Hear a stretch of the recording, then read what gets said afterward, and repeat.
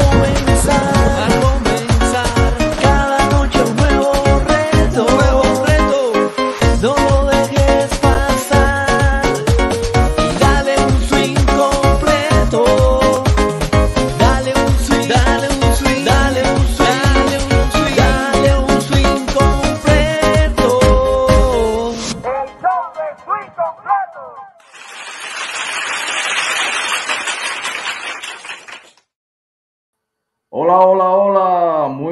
Tenga todo el que haya tenido bien estar con el show sin completo en esta jornada de viernes, cerrando semana de actividades. Eh, estaremos por acá, como siempre, conversando sobre deporte, pero como hemos estado haciendo las últimas emisiones, después de que se acabó el Gran Béisbol, eh, las grandes ligas, eh, hemos tratado siempre de tener invitados, de tener siempre un protagonista beisbolero para hacer transcurrir las noches de su incompleto.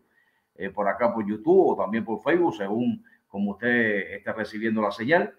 Eh, y en esa misma línea, eh, siempre les aclaro, puede ser buenas noches, pero también buenas tardes, buenos días, según usted esté recibiendo esta, esta señal, según la latitud geográfica donde usted esté ubicado. Está Edgar Guadix preparado ya para, para, entrar en contacto con la audiencia del show sin completo. Así que las buenas noches oficialmente, Edgar.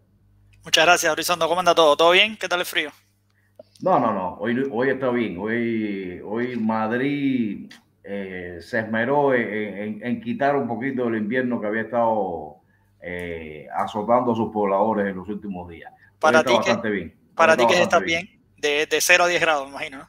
Mm, están bien, eh, están bien, están bien de madrugada a 10 grados. eso está bien. 10 grados de madrugada. Está bien, está bien. Entonces. De madrugada 10 grados es, casi que trópico, casi que trópico. tenemos, tenemos buen programa hoy, un, un invitado bastante interesante, muy, muy interesante el invitado. sí, señor. Eh, es uno de los que yo le perdí la pista. Y bueno, me alegra tenerlo aquí, así le puedo hacer, le podemos hacer también tú varias preguntas. Bueno, el chat también puede, puede preguntarle. Me, parece un programa muy, muy, muy interesante después del super programón que tuvimos el miércoles, ¿no? Gente, el miércoles, vayan a ver el, fue un programa histórico. El, programa, el, miércoles fue un programa de leyenda, lo que tuvimos con, con Tony Oliva acá. Pero hoy no Luis Ruiz eh, va a estar haciendo las delicias seguramente el que, del todo el que le, ocurrió como a ti, ¿eh? que después que se fue de Cuba, eh, un poco que se fue a radar a muchos de los que, los que estaban interesados por ver la trayectoria, el decursar de, de su carrera como profesional, se nos fue a radar completamente. Había despuntado muy bien, es decir, José Luis Ruiz eh, se fue de Cuba siendo uno de los mejores jóvenes del picheo cubano. Parecía, y cuando se fue, cuando se marchó de la isla, todo el mundo daba casi que por seguro de que iba, iba a tener trayectoria de grandes ligas José Luis Ruiz. No, no ha sido así, pero bueno, de todo su avatar estaremos conversando acá. Vamos a estar eh, buscando detalles de toda, de toda la trayectoria que ha tenido este camagüeyano que empezó con Camagüey, reforzó a Santi Espíritu, a Holguín, eh, para fase, para fase de postemporada. Eh, segunda vuelta, no, no postemporada siempre, sino segunda vuelta de, campeonato. Y también integró la selección cubana. Eh, estuvo con los centroamericanos de Veracruz, también. La Serie del Caribe. La Serie del Caribe, que mm, supuestamente eran equipos provinciales, pero Cuba siempre, manda, Cuba siempre manda un equipo bien nutrido ahí de, calidad, casi como un equipo, un equipo Cuba, lo que mandaban a la, a la Serie del Caribe. Así que Luis Ruiz va a ser nuestro invitado de hoy. Eh, esa será nuestra principal propuesta en esta jornada. Vamos a saludar a los amigos de Edgar, a los amigos que están en el chat, como siempre hacemos, ¿eh? para, para que ellos se den cuenta que estamos bien pendientes y que uh, a su adicional por ahí, por el chat. Ernesto Pino fue el primero. A mí me sorprende, ¿eh? nunca había visto tan temprano a Ernesto Pino, pero está haciendo trampa, ¿eh? está haciendo trampa porque el hombre llegó antes de las 8, antes de las 8 de la noche, ya estaba ahí eh, marcando con un turno en mano. Ernesto Pino, buenas noches, hoy especial, un hijo de nuestra familia, abrazo de todo corazón de parte de la familia Pino. Eh, Yandy González, saludos de Huila Melena, Tierra de Amari Grandal y otros. Eh, yo desde La Cruz, Dice, dice Andy, a mi juicio, lo mejor que podremos tener en el picheo en breve. Ojalá, sea así. Ojalá, ojalá, ojalá, ojalá, cómo no. Yo, de la Cruz, buenas noches, bendiciones para todos. Hoy el Z99 está de fiesta. No sabemos por qué. ¿Estará de cumpleaños el Z? Eh, Luis Raúl Ortega, saludos para la familia de su incompleto, ahí les dejo mi like. Hacia Martínez, saludos mi gente. Eh, Rolando Viera, que está también saludando como ha sido costumbre en, las últimas semanas. Eh, el hombre de La Habana Vieja, el zurdo. Luis Raúl Ortega, saludos. Lobo, buenas, buenas noches, buenas, su like al mejor show de deporte del mundo mundial. Néstor Moreno, saludos y buenas noches. Freddy UD también está saludando. Edismela Jate, mi amigo, saludos. Eh, lo propio para ti, amigo, buenas noches.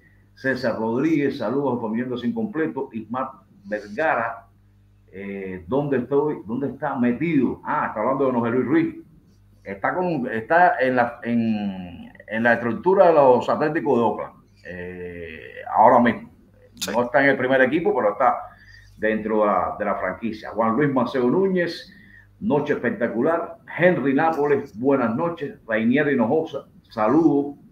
Eh, René de Bien, buenas noches a todos. Patri Vida, de Royal Security, sorpresa, dice Royal Security. Cubano Abreu, buenas noches eh, América, buenas, buenas tardes Asia Oceanía, buenas tíos, buenos días Europa y África. Saludos a todos, a todos. Toma tu like dice Cubanito Abreu. El doctor José Roberto Hernández. Buenas noches, Patrivilla, caballero de malas. Habló un documental de Manolito Gustavo hoy en noticiero, pero no lo encuentro. ¿Alguien sabe el título del documental? Habría que preguntarle a, Daniel de Malas. Eh, trataremos de hacerlo por interno y, se, lo, se lo comunicaremos por acá, el doctor. El que no de like no es de los nuestros, dice de Royal Security. Está buena, está buena la iniciativa. Eso es. Está, bueno, sí. está buena la iniciativa. Andy Ryan, buenas noches. José Luis Ruiz, ¿qué sentiste? Bueno, está haciendo la pregunta, ¿eh? Vamos a anotarla, vamos a anotarla. ¿Qué sentiste cuando se le escapó el pase a la final ante Matanza en el 2013? ¿Crees que Aragón debió dejarte un mini más? Suerte, chamaco. Eh, vamos, a, vamos a anotar la, pregunta para hacer una de las primeras que le lancemos. Eh, Luis Raúl Ortega eh, también está. Bueno, a ver si no se nos queda nadie. Jordan Aldún Montiel Torrado. Eh, dice, oh, qué alegría ver a Edgar hablando de béisbol. Saludos para todos. Eh, sí, dime, Jordan, ¿todo bien? Él está aquí, él está acá en Uruguay. No, no, conozco personalmente, por eso no. Maciel Sánchez, hola muchachos, saludos para el mejor noticiero. Eh, hola, la bella Maciel, qué bueno que estás con nosotros hoy acá. Luis Raúl Ortega, saludos Edgar.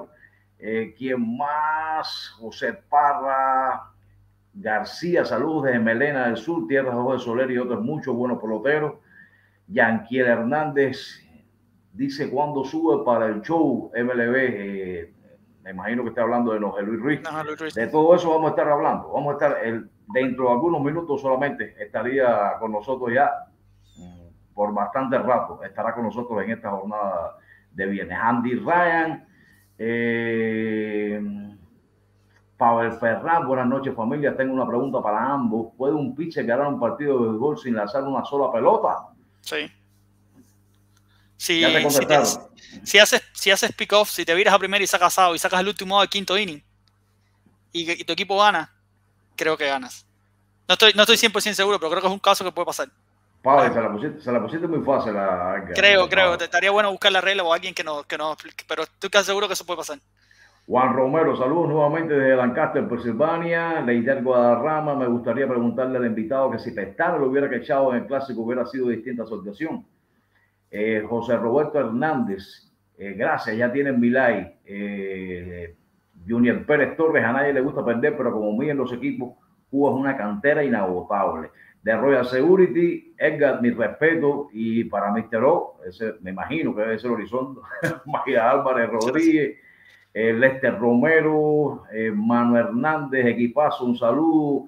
Jordan Adún Montiero Torrado pregunta para José Luis, ¿cuáles son tus tres lanzadores favoritos de los que vio jugar? Acuérdate de esa, Edgar, eh, por favor, para, para, para, que no se nos olvide, a la hora que tengamos a, ahí frente a frente a, a Luis y Elías. Saludos Javier y Edgar. Bueno, lo propio para ustedes, amigos. Vamos a tener una buena noche, vamos a tener una buena noche en esta, en esta jornada. Y ya la está teniendo, aunque no estará tanto tiempo con nosotros y hacer Porto.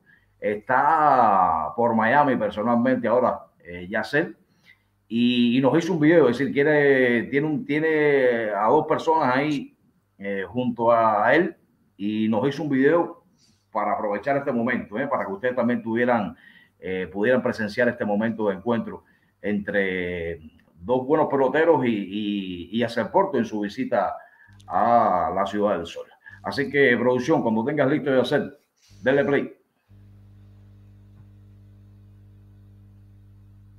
Producción. Bueno, la gente buena es incompleto. Mira con quién me acabo de encontrar. Carlos Emilio Rodríguez y bueno, el gigante de Ébano, Pablo Miguel Abreu, que está de visita aquí en los Estados Unidos y que nos ha realmente sorprendido esto va a ser una antesala de algo que pronto vamos a tener con Palomir, que nos lo han pedido muchísimo en el show. Y bueno, Carlos Emilio, para los que quizás no recuerdan mucho, cerrador estelar de los metropolitanos que deben poner récord en juegos salvados en la pelota cubana.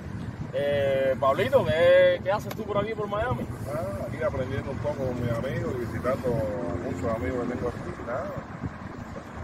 Huyendo al frío. Huyendo al frío de Italia. Hay mucho frío en Italia. Lo mismo le enseñé el video a Carletín que los pichos me están corriendo bajo nieve. Oye, eh, ¿has visitado? Porque he visto fotos tuyas con Enriquito, con Marchetti, con muchísima gente. No, todavía me falta. Y te falta unos cuantos. Estarás aquí hasta casi finales de diciembre.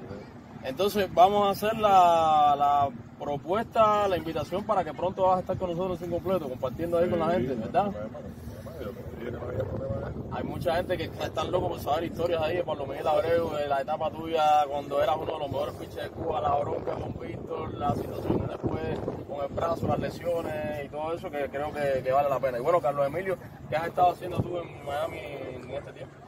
Nada, aquí yo estoy trabajando mayormente por las tardes, por la mañana trabajo en una escuela con guardia de seguridad y en la tarde trabajo en entrenador de picheo en Miami Christian eh, Flavio la 109, en una escuela privada. Ya llevo dos o tres años, que ahí fue donde el niño mío jugó el último año cuando, antes de firmar y ahí me mantengo trabajando con los niños. ¿Estás de acuerdo también de ser invitado especial en un momento determinado con nosotros para hablar un poquito de, la etapa tuya en Cuba, después cuando te fuiste de Cuba, lo, lo que pasó y bueno, este tiempo ya que has vivido aquí en los Estados Unidos? Sin problema, encantado. Perfecto, entonces ya lo saben, Pablo Miguel Abreu, Carlos Emilio Rodríguez, dos zurdos capitalinos, pero del béisbol cubano que también tuvieron una trascendencia en un momento determinado. Especial en su incompleto, espero pronto. Gracias por estar junto a nosotros.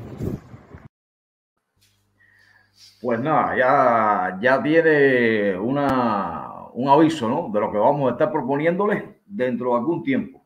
Pablo Miguel, bueno, estará, me imagino que aprovechen su visita aquí a, a Estados Unidos, ¿no? Eh, si se va a Italia va a ser más complicado cogerlo por la diferencia horaria, etcétera. Es decir, que hasta en el propio mes de, diciembre, este que estamos viviendo, tendremos a Palomira Abreu. Será también otra muy buena noche, ¿eh? porque ese tiene, ese tiene historia, ese tiene muchísimas historias. Como decía hacer, fue considerado los de los mejores pitchers de Cuba. Mm, se daba gusto dando ponche con esa, esa gran curva de barril que tenía una gran velocidad también, descontrolado y esto le pasaba factura en muchas, en muchas oportunidades. Lastimosamente, su brazo no, no aguantó tanto y su, su, carrera deportiva se la cortó bastante. ¿eh?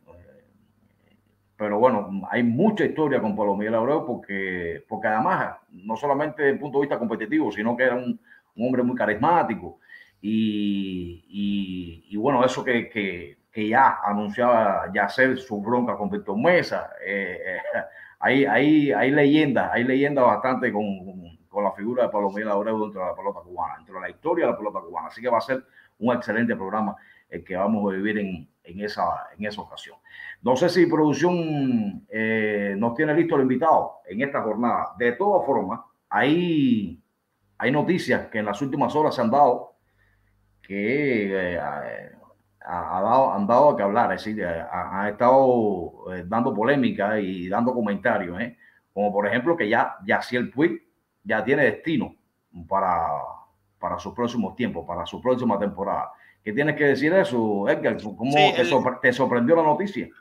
No, nosotros le, preguntamos en el. acuérdense que tenemos la entrevista con su representante, con Lisette Carnet, aquí en, el canal de Su Incompleto. Fue viernes antes pasado, si la memoria no me falla. Y le preguntamos, y yo inclusive fue que le pregunté si estaban abiertos a Asia, y me dijeron que sí. Eh, en Corea hay varios cubanos, así que no se va a encontrar con, coterráneos. En su equipo no hay, creo que es, el primero. Y ese equipo, los Kiwun Heroes, eh, es un equipo que, está, que está buscando ganar un equipo que tiene, que tiene equipo. Me acuerdo cuando se empezó a transmitir la KBO el año pasado, que no había pelota, yo me puse a verla porque no tenía más nada que ver. Y era uno de los equipos que se, que se hablaban y bien hablaba de que, de que buscaba, de buscar el campeonato. Así que bueno, es una liga bastante ofensiva, la liga coreana.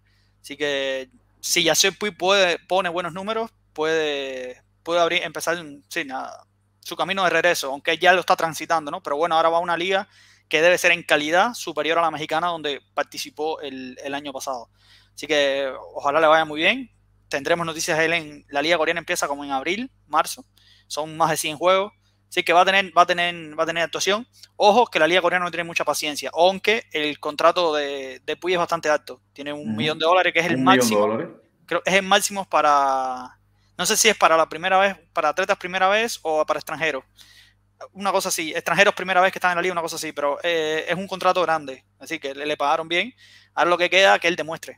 No, y es lo que todos queremos. A ver, es que, es que ya se fue. Yo creo que de todos los que están ahora mismo en Corea, es el que más nombre tiene, más, de, de más cartel, ¿eh? porque hace un par de temporadas que no está en, en ningún roster de un gran equipo en Grandes Ligas, pero sí tiene su, su, su, su foja, sus resultados. Eh, y es de, de, los que está ahora mismo en Corea, me imagino que sea la estrella rutilante que, que esté enseñando la, la liga coreana para la próxima temporada. ¿no? Eh, vamos a ver cómo le va. Ojalá que le vaya muy bien. Ojalá que le vaya muy bien. Eh, pero me parece, me, parece, me parece que la situación laboral esta que está enfrentando el béisbol eh, apuró un poco la, la suerte que podía haber corrido. Y lo decía la, su representante en declaraciones a la prensa, ¿no? Cuando explicaba por qué la Liga Coreana, cuando muchos pensaban que podía haberse acercado a algún equipo de grandes ligas para, para la próxima temporada, y se rumoró incluso de que ya había un equipo de Grandes eh, en esa dirección. Eh, esta decisión de irse hacia Asia eh, sorprendió a algunos, algunos sí, sí nos tomó de sorpresa. Cuando yo pensaba que, que, que, la cosa se estaba calentando en cuanto a la posibilidad de quedarse en, en Estados Unidos, pero bueno, um, decía la, la, representante que no quisieron correr riesgo, es decir, que ahora mismo está todo parado, los agentes libres no se sabe qué va a pasar con ellos eh, en el futuro. Yo tengo muchísima confianza que esto se va a resolver. Eh, ante, ante los entrenamientos primaverales ya esto va a tener solución, pero no quisieron correr riesgo y bueno, tomaron eh, lo más seguro que tenían, el pájaro en mano que tenían, que era, que era Corea, y, y, bueno, ojalá que le vaya muy bien a, a Yacer pues en, en, su, en su periplo por Asia. Vamos a, vamos a ver cómo le va en la liga coreana una cosa que antes de que salir del tema cabello, dice Fred Torres por dónde transmiten la cabello. Si estás en Estados Unidos, hay, una plataforma que se llama Naver, N-A-V-E-R. Si mal no recuerdo, por ahí transmiten. Aquí en Uruguay no llega. Yo cuando veía la cabello la veía por Twitch, pero solo duró un año y después la quitaron. Y los resúmenes y eso en, en YouTube no, no están.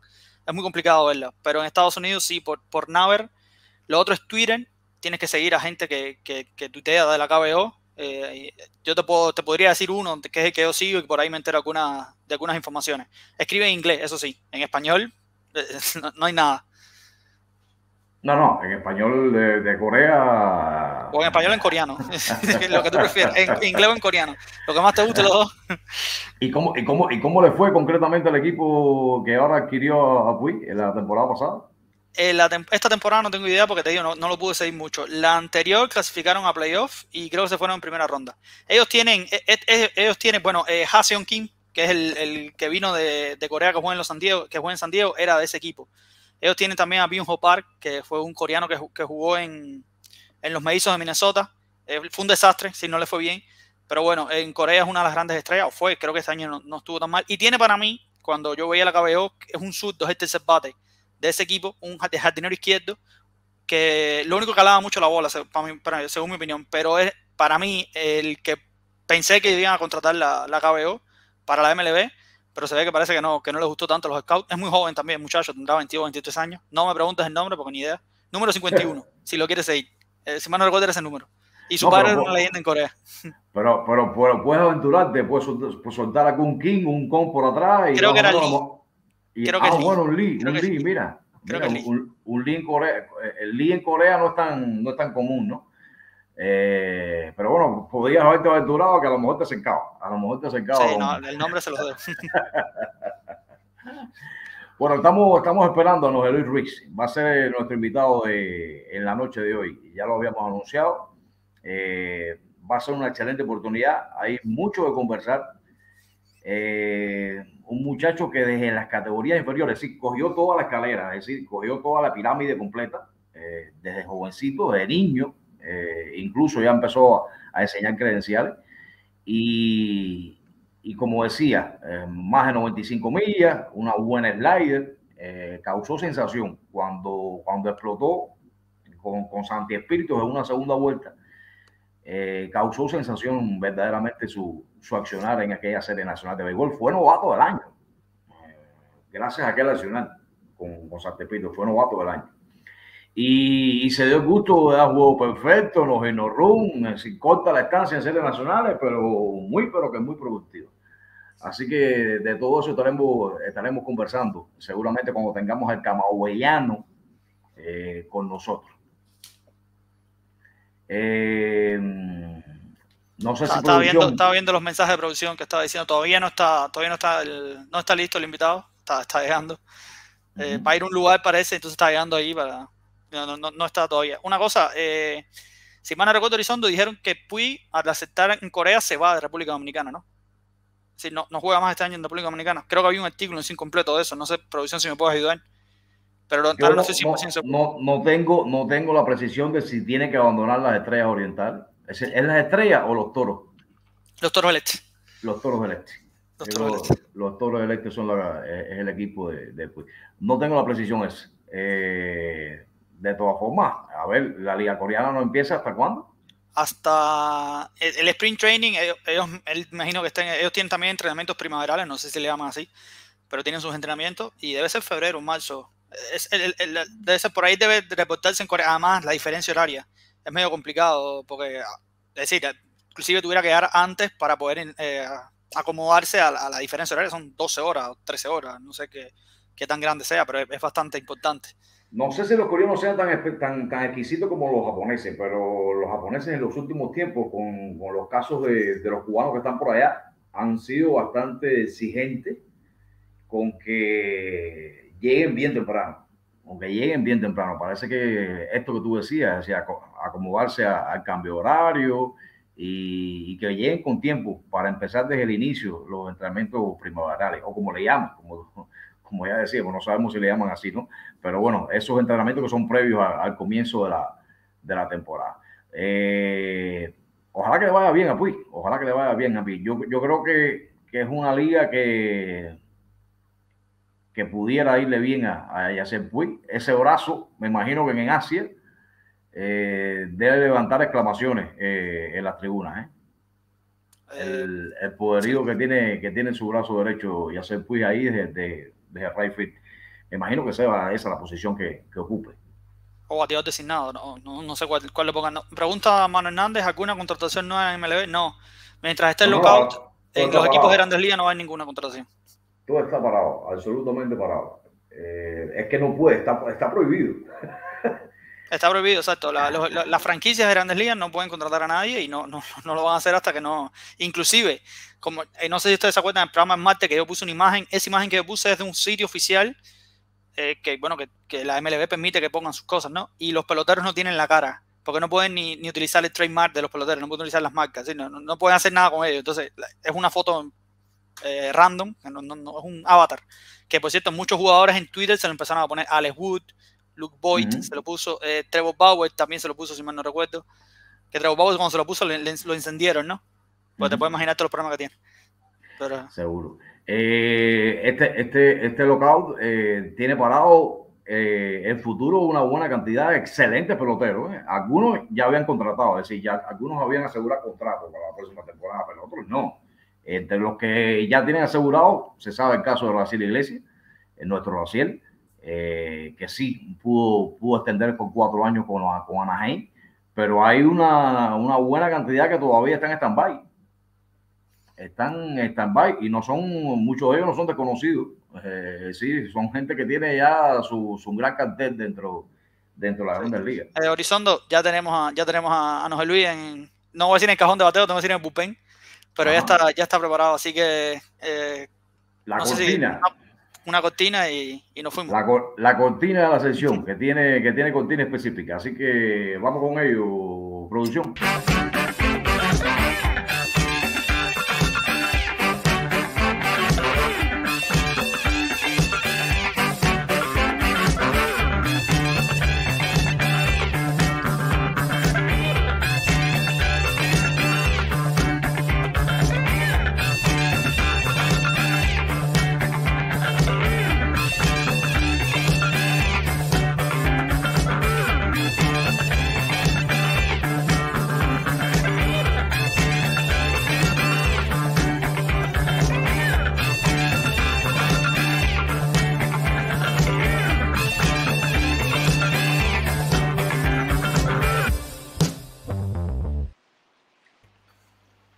Pues ahí está, José Luis Ruiz, bienvenido al show Muy buenas noches para ti y gracias por, eh, por, estar con nosotros hoy. Buenas noches para ustedes también. Para mí es un orgullo estar aquí en Soy Completo. Sigo mucho las noticias que, que dan en el Facebook y en YouTube también. El tornado de Ruby Rosa. Así, tornado, así decían. Sí, en Cuba. ¿De, dónde viene? ¿De dónde viene el, el, el nombre? ¿Quién te lo puso? Mi papá me, eh, me decía que yo pichaba como un tornado y donde yo vivía se llamaba Rubirosa. Y entonces ligaron ahí el apodo con el barrio y ya salió eso. Ya. Interesante. No, eh, decíamos nosotros aquí, mientras estábamos haciendo tiempo, mientras tú podías acomodarte ya para, para entrar en contacto con la audiencia de, del show, decíamos que había corrido, había recorrido la, toda la pirámide, es decir, que de bien pequeño estabas, practicaste béisbol y desde bien pequeño también incluso hiciste equipo Cuba uh, para competencias internacionales. ¿Cómo fueron tus inicios en la pelota? ¿no? Sí, comencé con seis años, gracias a de la mano de mi papá y de mi primer entrenador, Daniel Barona. De ahí, como bien decía, escalé en la pirámide, la EIDE, la ESPA y después el equipo Camagüey. Fue experiencias muy bonitas que tuve en categorías infantiles también. Eh, como ahí decía, estuve en un mundial 9 y 10. después, mundialito en Venezuela. Sabemos todos que Cuba a veces no podía asistir a algunos torneos. 13 y 14 también estuve en preselección, 15 y 16. Eh, fui eliminado en el último corte cuando el director era eh, Borroto, camagüeyano también. Eh, en los juveniles no pudimos asistir a ningún torneo, estaba en el equipo. Incluso daban los módulos en el latino. Pero eh, días antes del viaje se caían. Y ya en el equipo Camagüey yo creo que a las personas más o menos conocen algo. Eh, yo, te voy a hacer una pregunta que es un poco rara, ¿no? Pero bueno, yo, por ejemplo, eh, jugué pelota como casi todos los niños, pero a mí no me gustaba pichar. Por ejemplo, a mí me gustaba batear. ¿Por qué, ¿Por qué tú decidiste ser pitcher? A todos nos gusta más batear. Yo en realidad ah, era jugador también. Yo era jugador también.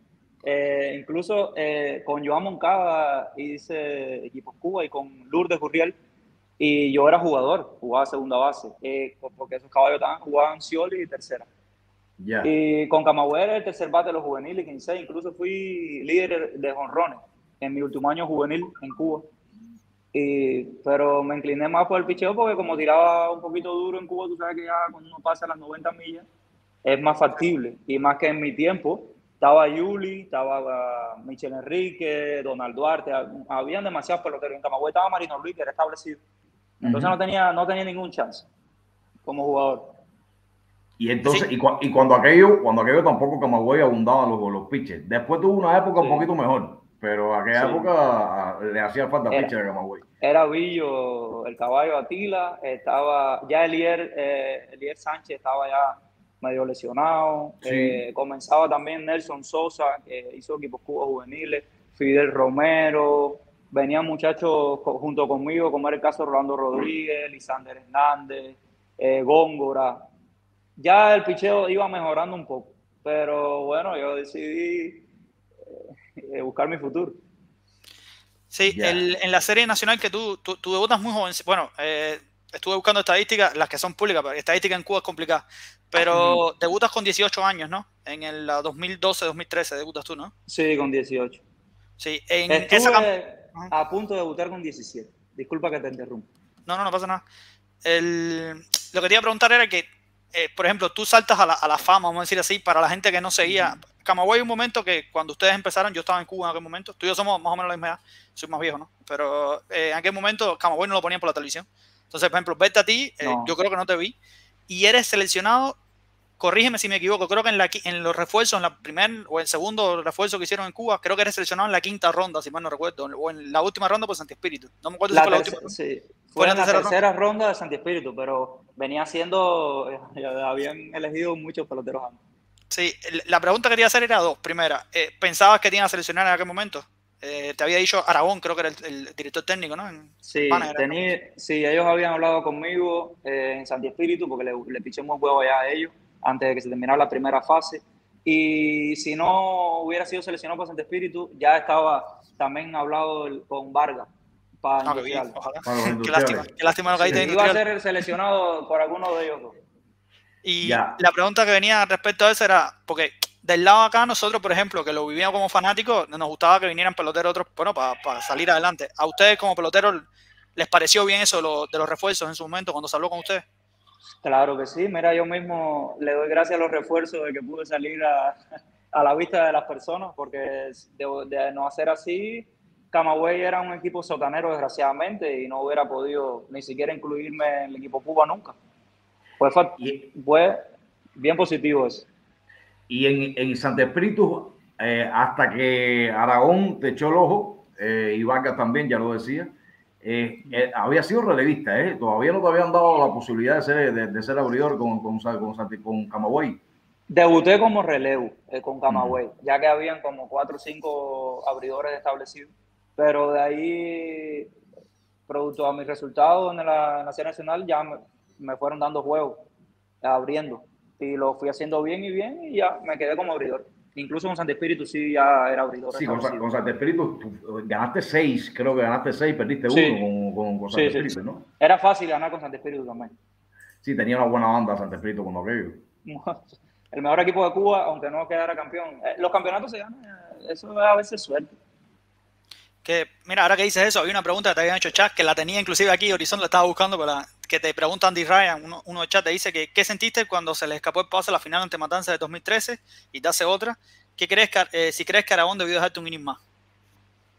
No, yo por lanzamiento ya estaba un poquito pasado. Y más que había pichado tres veces en siete días. Esa era la cuarta vez que yo lanzaba. Yo abrí un juego suspendió por lluvia, eh, después eh, relevé dos veces, eh, tiré como seis innings entre los dos relevos, porque tú sabes que en Cuba es relevo largo, no, no importa casi. Y ya ese último juego ya estaba, el brazo ya estaba un poquito cansado. Y la otra pregunta, ¿me la puedes repetir? Sí, era, porque la había movido para otra. si crees, bueno, la pregunta era, ah, ¿qué sentiste cuando ustedes se le Ah, sí, sí, sí, sí, ya recuerdo. No, no, yo solamente no, todo el mundo estaba triste me, yo recuerdo la cara de Yuli, que gracias a Dios pudo jugar con esas estrellas, Yuli, XCP, Ariel y, una Mendoza y esas personas. Estaba todo el mundo triste, en la guagua no, no hablaba nadie. Yo me sentí mal porque había hecho un buen trabajo, pero igual en lo colectivo, yo, era, yo, yo siempre he sido muy agradecido con ese equipo, siempre. Gracias a ellos que estoy donde estoy, prácticamente porque por cierto, al otro año cuando hacen los refuerzos te eligen primera ronda, una cosa así, ¿no? sí, fue el primer, sí, fui el primer pelotero elegido de, de por Fue por Ya, eh, eh, ¿Fue, un año con Oquín o estuviste hasta dos años con Oquín? dos años, dos años. dos, años, con Oquín. ¿Cómo te fue con los cachorros? Bien, bien, gracias a Dios, bien. El último año un poquito mal, ya el brazo venía sufriendo, ya y a los equipos Cuba a veces lesionados, no lesiones graves, pero sí ya con los brazos dolorosos y tenía que pichar mucho el equipo Cuba y regresaba y de nuevo y así. No, y e, esa, esa dificultad en el brazo que todavía, todavía te está dando dolores de cabeza, eh, ¿fue por sobreuso o, por qué? ¿Tienes, tienes bien ubicado eh, la causa de la, de la lesión en el brazo? No sé, yo venía pichando desde muy jovencito. El, problema incluso mío del brazo no es en los músculos, es en los huesos. Parece que ah, tengo algún desgaste eh, o parece sobreuso en los huesos. Yo, si empezamos a juntar innings, yo casi casi ahorita estoy en los mil innings con 27 años. Así que he pichado bastante. Y los innings que no se cuentan, que uno picha en los entrenamientos, en los topes, en Cuba y todo eso. Pero yo creo que el problema del brazo era por mi físico en Cuba porque tiraba un poquitico duro y el uso que me daban también, yo incluso en Camagüey cerraba a veces cuando había que cerrar, con, antes de los días míos de descanso. No sé, porque a veces me he sentido recuperado aquí. Eh, yo he pichado aquí en Oakland casi 300 cines, pero ya este último año parece que al no jugarse en el 2019, 2020 creo, no jugarse la temporada. En 2020, que, no, que no hubo menores. Sí, me tuvieron que hacer una cirugía en el codo, no me he podido recuperar al 100%. Y como yo creo que Oakland tiene pensado que yo llegue a Grandes Ligas, tiene planeado conmigo eso, me, me apuran porque quieren que yo piche en la temporada. Y me recupero y vuelvo y así. Pero el brazo de verdad que no sé qué pasa. Yo entreno bien, de verdad. Pero el brazo no me la, la, la, operación que te hicieron fue la tomillón o, o no, no, no, no, no, hizo falta hacer tomillón? No, porque tengo todos los tendones, todo lo tengo bien. Es en los huesos. Fue en los huesos, la operación fue, me picaron dos sobrehuesos que tenía en dos partes del codo. Eh, aquí te pregunta un oquinero, eh, ¿no? Que, que, cómo valoras tu, eh, tu paso por los cachorros. Ya dijiste que estaba bien, ¿no? Pero si quieres agregar algo más, porque te estaban... No, no, positivo, positivo. En lo personal y en lo deportivo también positivo. Incluso yo piché el último juego que, le, que iba a pasar para los playoffs. Lo dejé ganando en el noveno inning con un out, 4 a 0 y nos ganaron 5 por 4. He tenido las dos malas suertes con el espíritu y con el Me recuerdo, pues. Incluso me partieron el dedo una línea en el segundo inning de Junior Flores. Fue contra Vía Clara. Me partieron el dedo derecho, que después del juego, yo piché así mismo, o de 7 innings después con el dedo partido. Y cuando terminé el juego tuve que ir al hospital y me ingresaron el brazo como por un mes. En mi casa en Camagüey tuve que tener el brazo. Eh, no sé cuánto llegaste tú, porque en Cuba tú sabes que tú tiras más de 90 millas. Antes, ahora tiras más de 90 millas y directamente eres equipo Cuba, ¿no? Pero tú llegaste más de 95, llegaste a marcar, ¿no? Con la recta. Sí, en, la, en Camagüey lo que tiraba era 90, de 91 a 94. internacionalmente, tú sabes que uno le pone un poco más, eh, le borré hasta 96 millas en, en México, en Veracruz, 96. Y aquí en Oakland me ha marcado hasta 98 millas. Yo, yo eh, bueno, hablando de las lesiones, eh, en lo particular tú has tenido tropiezo en este sentido, es decir, has tenido una, un trayecto sufrido con, con, con las cuestiones de, lesiones, etcétera. Pero sucede mucho, es decir, es algo que se repite con, con los brazos en, en Cuba, piches jóvenes que, que, se le ven muchas condiciones, eh, gran velocidad y sin embargo al poco tiempo eh, los brazos se le, se le lesionan. ¿Piensa que se está haciendo algo mal? Sí, o se hace algo mal o se deja de hacer algo en cuanto al entrenamiento, a la fortaleza, fortalecimiento de los brazos de los, jóvenes que después suceden este tipo de cosas. Claramente la preparación es muy diferente aquí que allá, por los equipos que hay aquí de recuperación y todas esas cosas. Pero yo no creo que sea ese problema. Lo que pasa es que el nivel profesional es fuerte en todos los deportes. En todos los deportes las personas se lesionan. Eh, no solamente, ustedes porque le dan más seguimiento a, los peloteros cubanos, pero americanos ahí en Oakland, por ejemplo, que yo sé que en todas las organizaciones es así, hay lesionados 100. El trainer room está lleno siempre de, de pitchers y de jugadores también. Es que, es que es fuerte, es fuerte y el nivel es alto. Tú estás enfrentándote contra los mejores del mundo, no ahí en tu provincia. Es fuerte yo te iba a preguntar, no, tú haces, eh, ya tú dijiste que hiciste juvenil, eh, hiciste equipo Cuba juvenil, pero equipo Cuba de mayores, no sé si el primero que hiciste, por lo menos el primero que me recuerdo fue Serie del Caribe. No me acuerdo si con... Veracruz, ¿no? Centroamericano. ah, fue centroamericano. fue, fue, Estados Unidos. ah, un, tope, un ah, tope, con, un tope con Estados Unidos, ¿verdad que sí? Un tope, con Estados, Unidos. Estaban todos los caballos esos ahí que juegan Grandes Ligas. Ah, yo, yo, te iba a preguntar qué, qué, qué es esa experiencia yo, yo nunca pude ser equipo cubano, pero ¿qué te esa experiencia cuando te, cuando te llaman al equipo? Porque cuando tú vas al equipo mayores, es como que cambia las cosas, ¿no? Porque ya el, el All-Star de, de, Cuba, ahora, por desgracia, no tenemos tan bueno, ¿no? Pero en aquel momento era, era mucho mejor equipo. Yo sabía que estaba en el equipo Cuba hasta incluso antes de que hicieran la preselección, porque Víctor era el director en ese tiempo. Y yo le piché a Matanza, como ya sabemos. Cuando yo terminé ese juego, tuvimos una rueda de prensa al final del, del juego y cuando yo iba caminando por el pasillo, él me llamó y me dijo, no te dejes, no te descuides, sigue preparándote en Camagüey, que cuando llegue el momento te voy a llamar para que sea el equipo Cuba conmigo. Y ya yo sabía ya antes. Que, a ver, la pregunta, ¿no? Porque esta es la pregunta que todo el mundo ve a siempre, siempre es algo grande, siempre. El, que, la pregunta que te iba a venir era porque todo el mundo había visto mesas de fuera, ¿no? Y tú ves las locuras, viste, no sé qué tú como pelotero, que lo viste, lo viste de adentro, ¿no? Tú sí lo viste en carne propia. ¿Qué tal es, cómo es Víctor Víctor es un gran ser humano. Eh, lo que pasa es que, como le dicen, es un show. También a veces él tiene un carácter que a él le gusta que las cosas salgan bien, como a todas las personas, eh, mucha disciplina.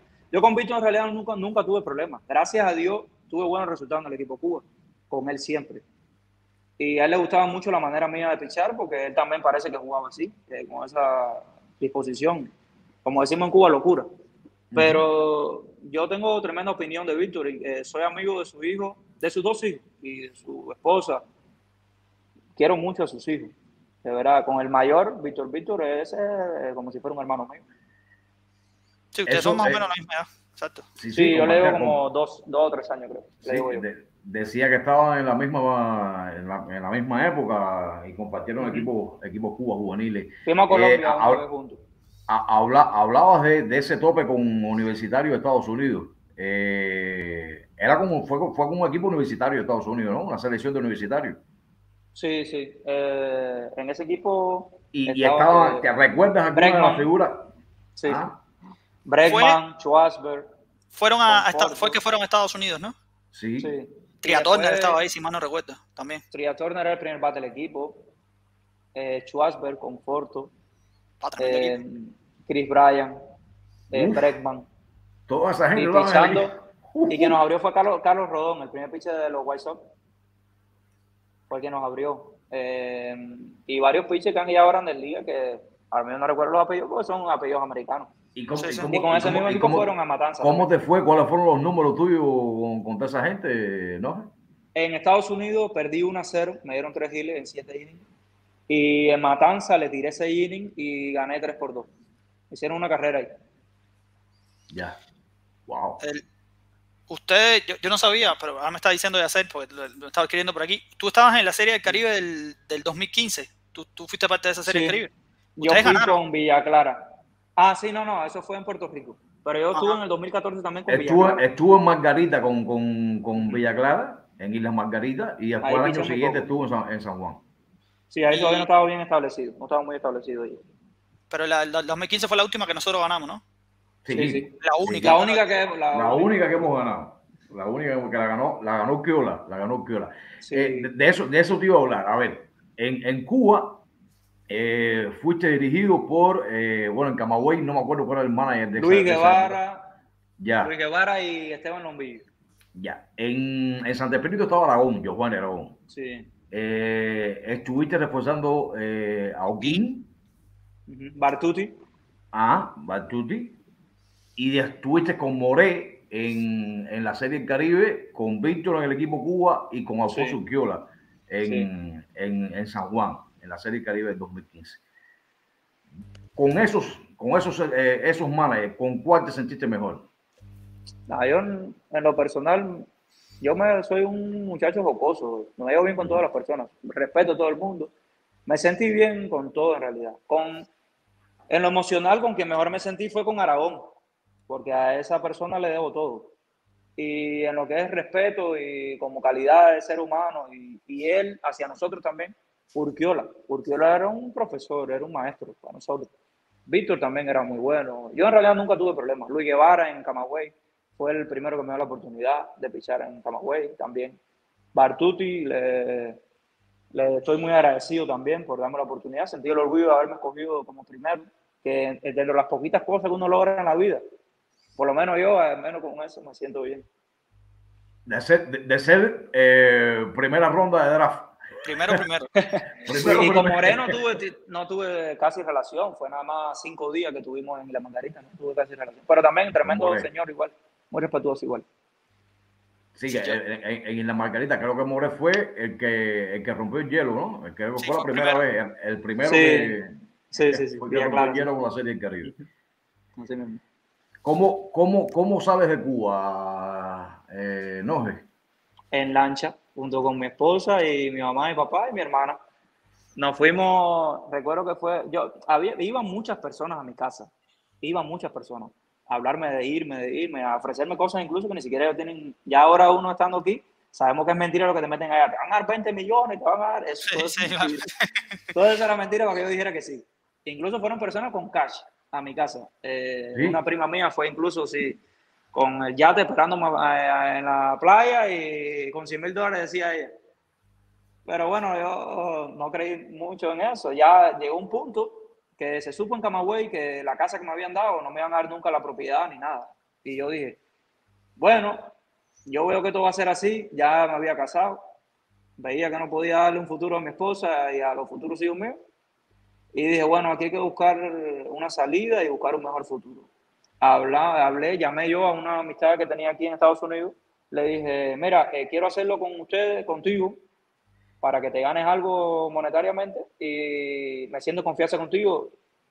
Confío en que me vas a buscar una buena persona. Ya con esa persona hicimos el negocio. Fueron, me recogieron en mi casa en una van por la mañanita y fuimos para Aracoa en Guantánamo y por ahí nos fuimos a las 2 de la mañana en una lancha. Sí, hasta Haití.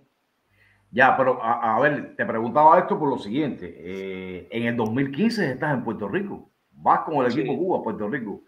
Eh, ¿No tenías pensado, es decir, no tenías decidido todavía ese paso? No, en no, ese no, momento. No, no.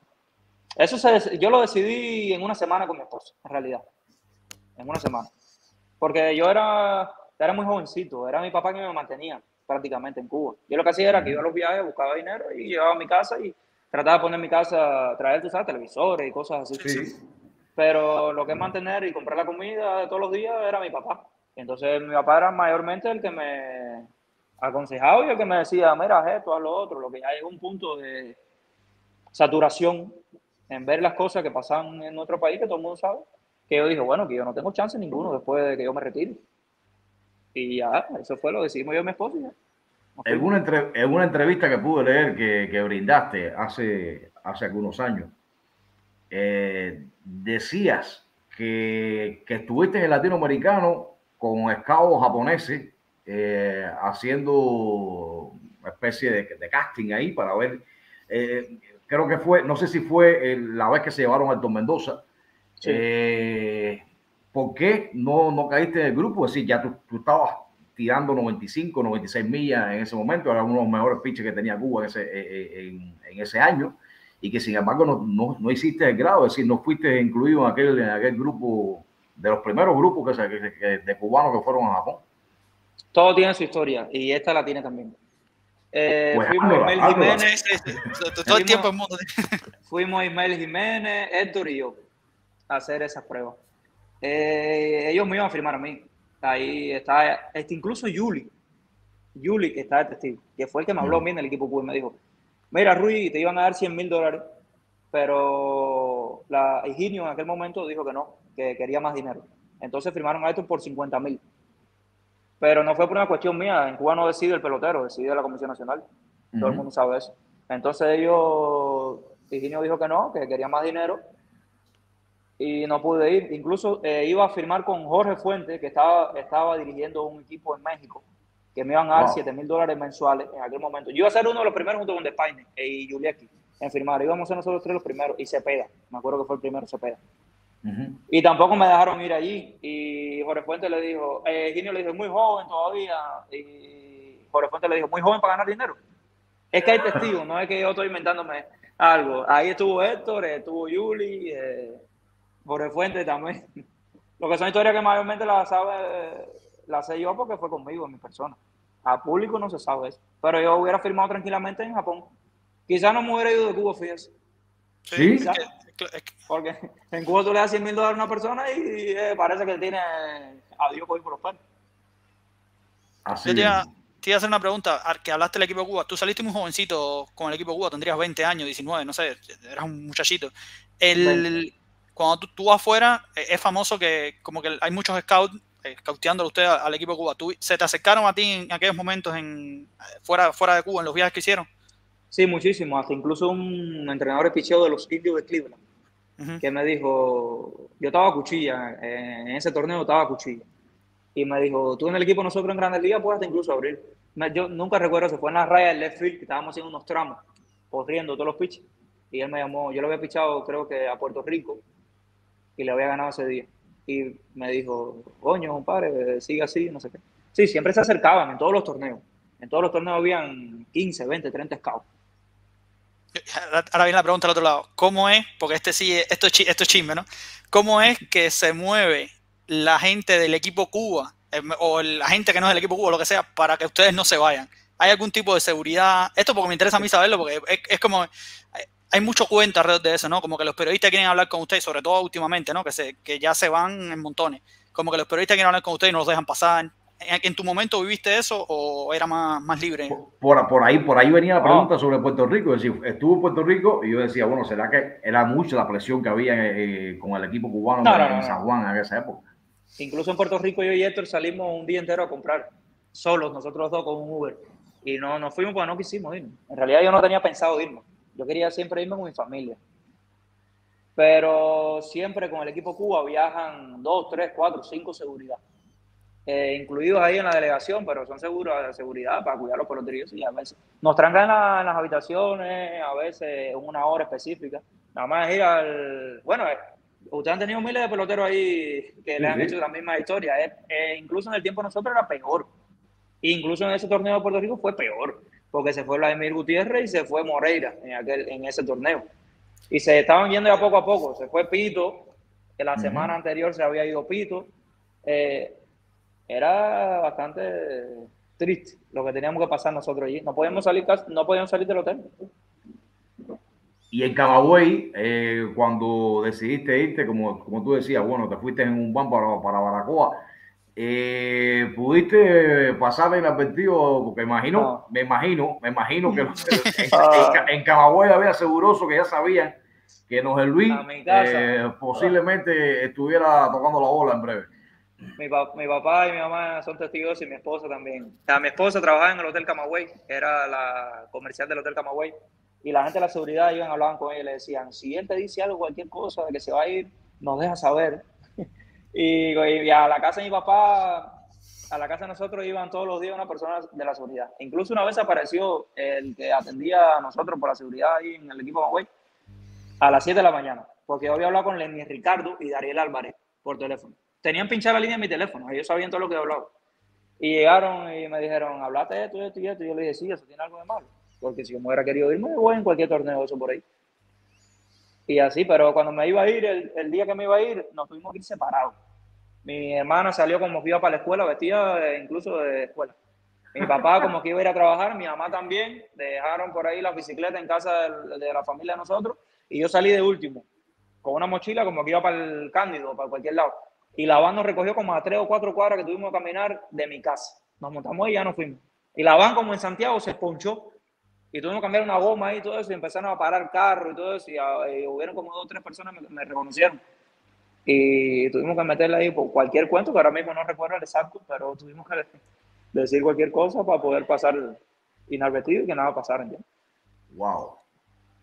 Eh, yo, te voy a decir, no, yo cuando, cuando tú te fuiste, por ejemplo, eh, yo lo veo como fanático, ¿no? Yo estaba en Cuba en aquel momento, me fui un poco después.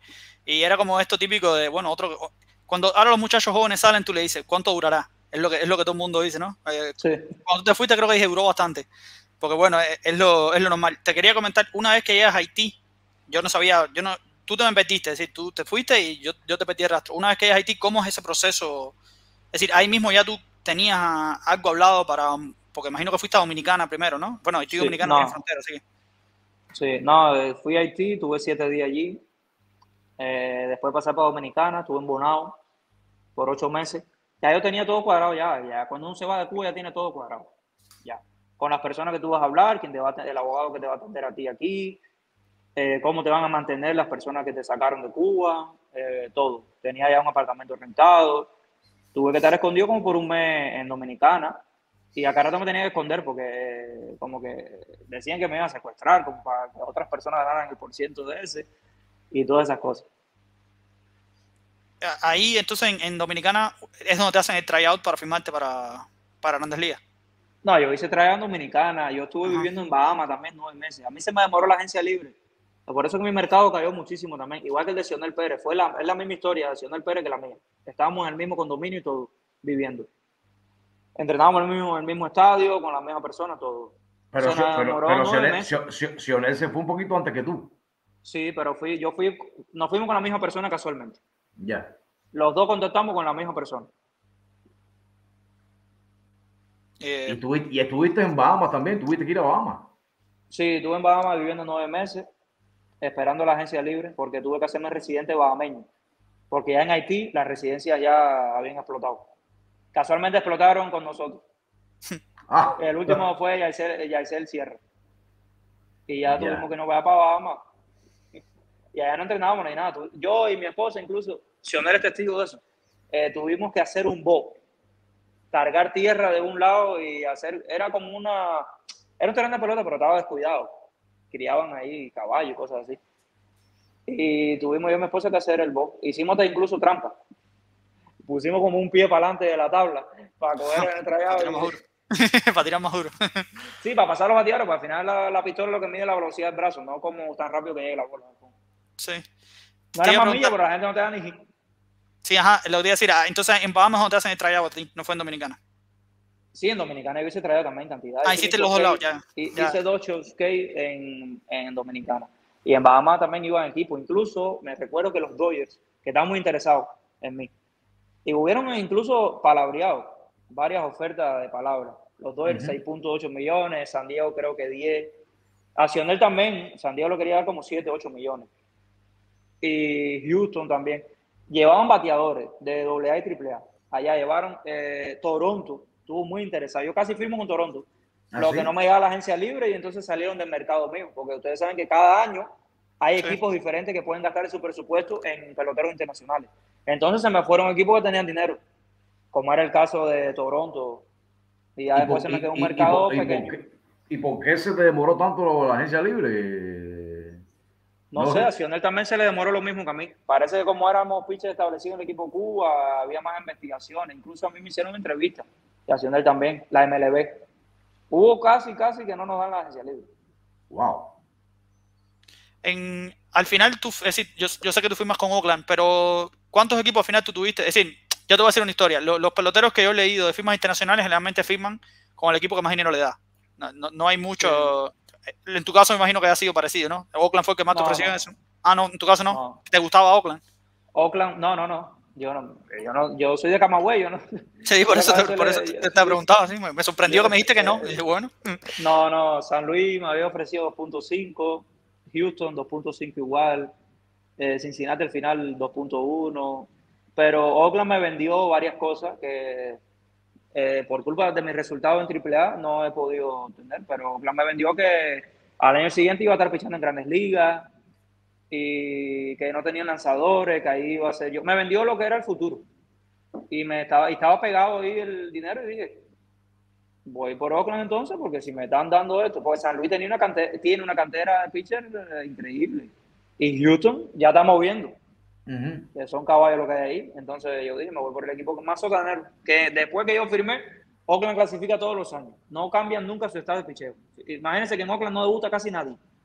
Ni jugadores, ni pitcher.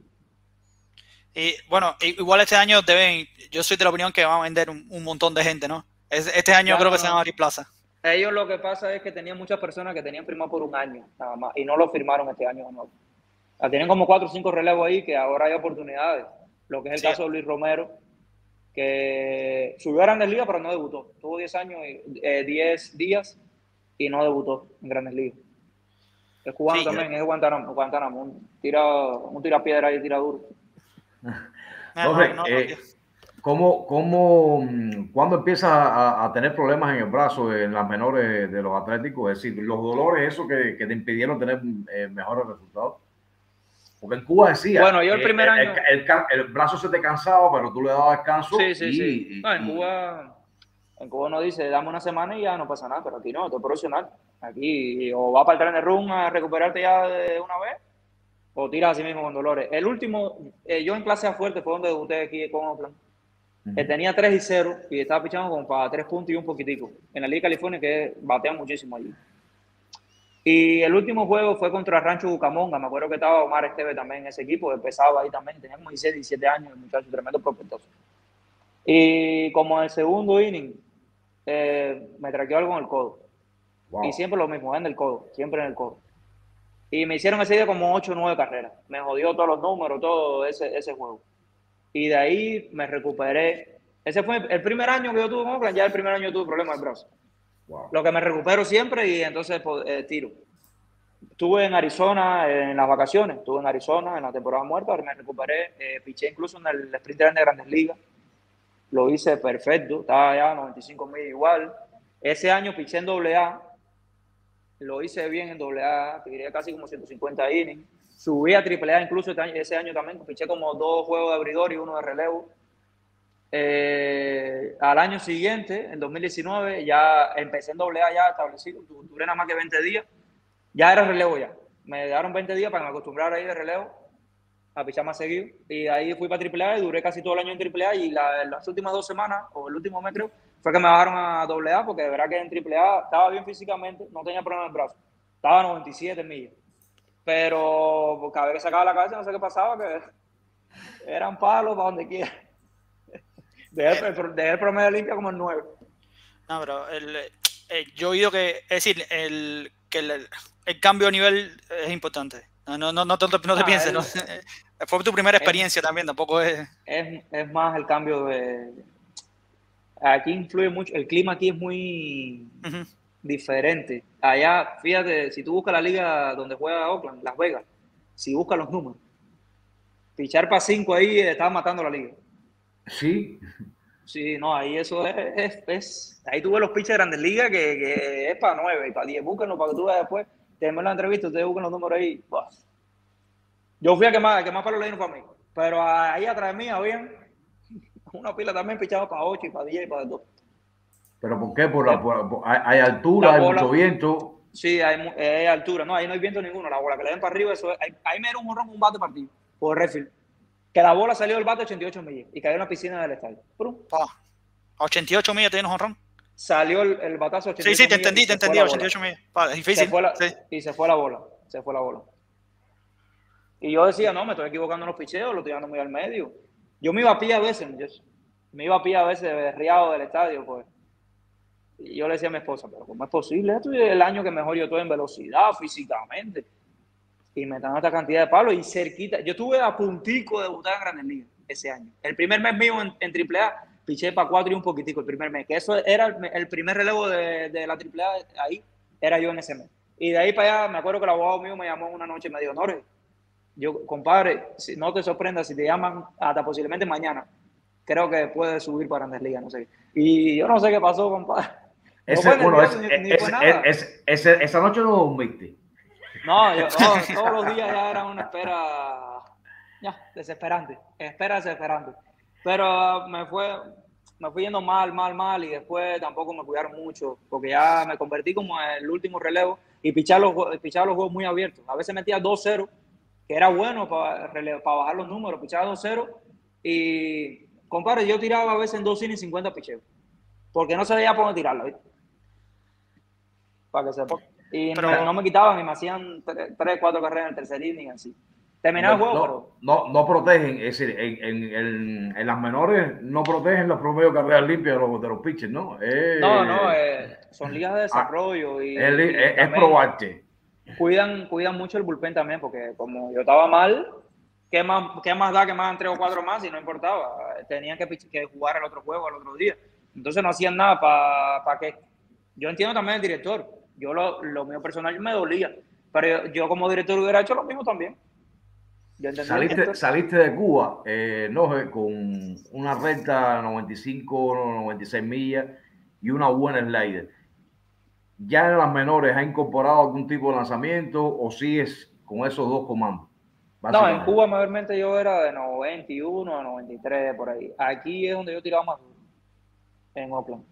Pero los picheos míos siguen siendo los mismos. Yo en Cuba incluso no tiraba tanto el slider. Eh, tenía buen slider. Porque en Cuba una slider 81 millas ya dicen la gente que es rápida. Pero aquí mi slider me ha caminado hasta incluso 90 millas. Lo que pasa es que como yo no sigo grandes ligas, las personas quizás no lo siguen mucho, pero, y las menores tampoco se siguen tanto como las grandes ligas. Pero normalmente mi slider oscila entre las 87 y 90 millas. Y el cambio mío es bueno también. Los problemas míos han sido mi brazo en realidad. Cuando yo estoy bien, yo picheo cómodo en cualquier liga, en cualquier liga. Pero ah, el brazo es lo que a veces te hace mermar, no puedes tirar algunos picheos algunos conteos. A veces algunos conteos tú llevas recta, pero cuando tú tiras esa recta para allá, que tú le das ese tirón a ese brazo y te hace cuartazo ahí que tiene que coger tierra y caminar y hacerte como el que está sudando para que se te vaya ese dolor y poder tirar el otro picheo. Es duro pichar así. Es decir, todavía lanzas, con dolor todavía. En estos momentos estás lanzando con dolor en el brazo. Ahora mismo no me siento nada porque estamos en la temporada muerta. Sí, claro, obvio. Sí, sí, pero te digo, pero estás... el año, el año pasado solo pude pisar 10 Sí, pero eh, después, me recuperé. pero después te operaste. Es decir, después de la operación, ¿cómo te sientes lo mismo el codo? Es decir, ¿lo, has forzado de alguna manera? ¿La, has puesto algún esfuerzo? Sí, sí, no, no. Sí, yo después la, cirugía mía fue en el 2020 tempranito. Yo fui a jugar con las estrellas orientales allá en Dominicana Y en el segundo inning que me enredé un poquito ahí, ya el brazo de nuevo me dio problemas y incluso yo le dije a la estrella que no me pagaran nada porque no era justo que yo cobrara sin hacer nada. Vine para acá y me hicieron una cirugía, pero yo creo que a mí no me hicieron una buena cirugía porque eh, ha salido de nuevo. El año pasado me recuperé, fui para AA, tiré cinco innings perfectos, había comenzado perfecto y de nuevo el brazo. Me hicieron MRI y de nuevo tengo problemas en los huesos. Viré para atrás para Arizona, me recuperé, volví, eh, terminé, iba a empezar mi rijada en clase A fuerte. Y estaba perfecto, había tirado cuarto inning perfecto. Y en el quinto inning, ya empecé a 95 millas y terminé tirando 86 millas. Me hicieron como seis carreras ese inning. Y es un desastre los números también, por eso. El brazo mío no sirve. Eh, te iba a hacer una consulta, pero también no tenga sentido. Pero por lo que veo, te están usando de relevo. El, Yo no sé el. Porque, ejemplo, cerrador, tú que tiras, tienes, eh, tienes tres lanzamientos. Me dijiste, tienes recta, slider y cambio. Es lo que estás utilizando ahora actualmente. Pero lo, que, lo que veo es. ¿Cómo? Y split. Split también, sí. Y split también. el, te iba a preguntar de, cerrador, pero imagino que el cerrador igual sea la, el, si te duele el brazo, no, no sé. Eh, ahí no, es decir, tuvieras que buscar casi una segunda opinión. Imagino que el equipo es el que te pone el doctor, ¿no? O ustedes tienen posibilidades como jugadores de buscar otra, una segunda opinión. Sí, tú puedes buscar una segunda opinión, siempre se puede buscar, pero el equipo no gana nada en decirte mentiras, si al final ellos me han entendido. No, no, yo no te pagaron la cirugía y ellos tienen planes conmigo, creo yo, ¿no? Antes tenía más y ahora menos, pero yo creo que eh, lo que pasa es que cuando yo me pongo en forma y yo estoy bien, eh, se ilusionan porque, modestia aparte, yo no soy un mal lanzador. No, no, todo lo contrario. Pues, que a mí me sorprendió, es decir, yo me enteré que ahora que has tenido lesiones y todo eso, pero para mí tú eras, eh, cuando tú te fuiste, tú eras el propuesto número uno en Cuba. Eh, pero yo estaba incluso dos veces, dos veces invitado a campamento de Grandes Ligas y me dejaban pichar. Decía, decía, decía un seguidor acá, eh, Norre, decía Fred Torres, decía, pero en los huesos, exactamente qué es lo que tienen los huesos, decía, ah, decía Fred Torres. Se llama edema óseo no es en, la, en lo duro del hueso. Hay una parte gelatinosa que cubre el hueso. Es lo que normalmente nosotros le decimos cartílago cuando le quitamos eh, una partecita ahí a, cuando cocinamos pollo, que cubre el hueso, una partecita así gelatinosa. Eso se llama edema óseo. Eso se me inflama tanto que no deja que el brazo. Yo a veces no puedo tirar el brazo. Yo no puedo tirar. Cuando yo me pongo así, no puedo tirar el brazo. Y eso incluso puede llegar a crearme una fisura, hasta incluso partirme el hueso, porque se inflama tanto que puede afectar en eso si sigo trabajando arriba de eso. Pero cuando yo digo que no puedo más es porque me he inyectado 20 diclofenaco y no puedo orinar casi porque me ponen los riñones malísimos y hasta incluso el hígado me lo he jodido tomando pastillas para el dolor. Qué lástima, compadre. Qué lástima que te, que te haya ido tan mal con, la, con las lesiones. Yo lo que, lo que no, no es que de la forma que lo dice, ¿cuál es la solución? Eh, que se cure solo, no sé, operación de nuevo.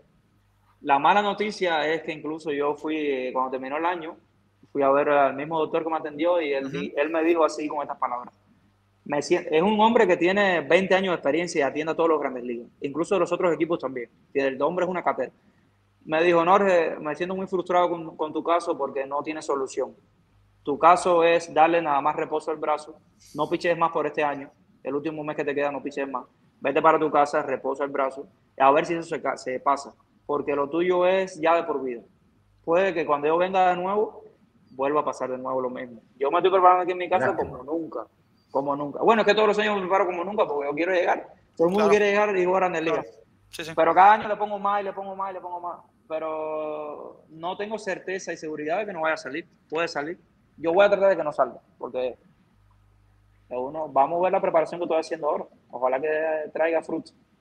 El, ahora te iba a preguntar, el, el año pasado estuve mirando tus tu estadísticas, porque están, en 2021 pichaste en, en AA, a, avanzada y la, y la Rookie League, ¿no? Imagino que eso sigue cuando estaba...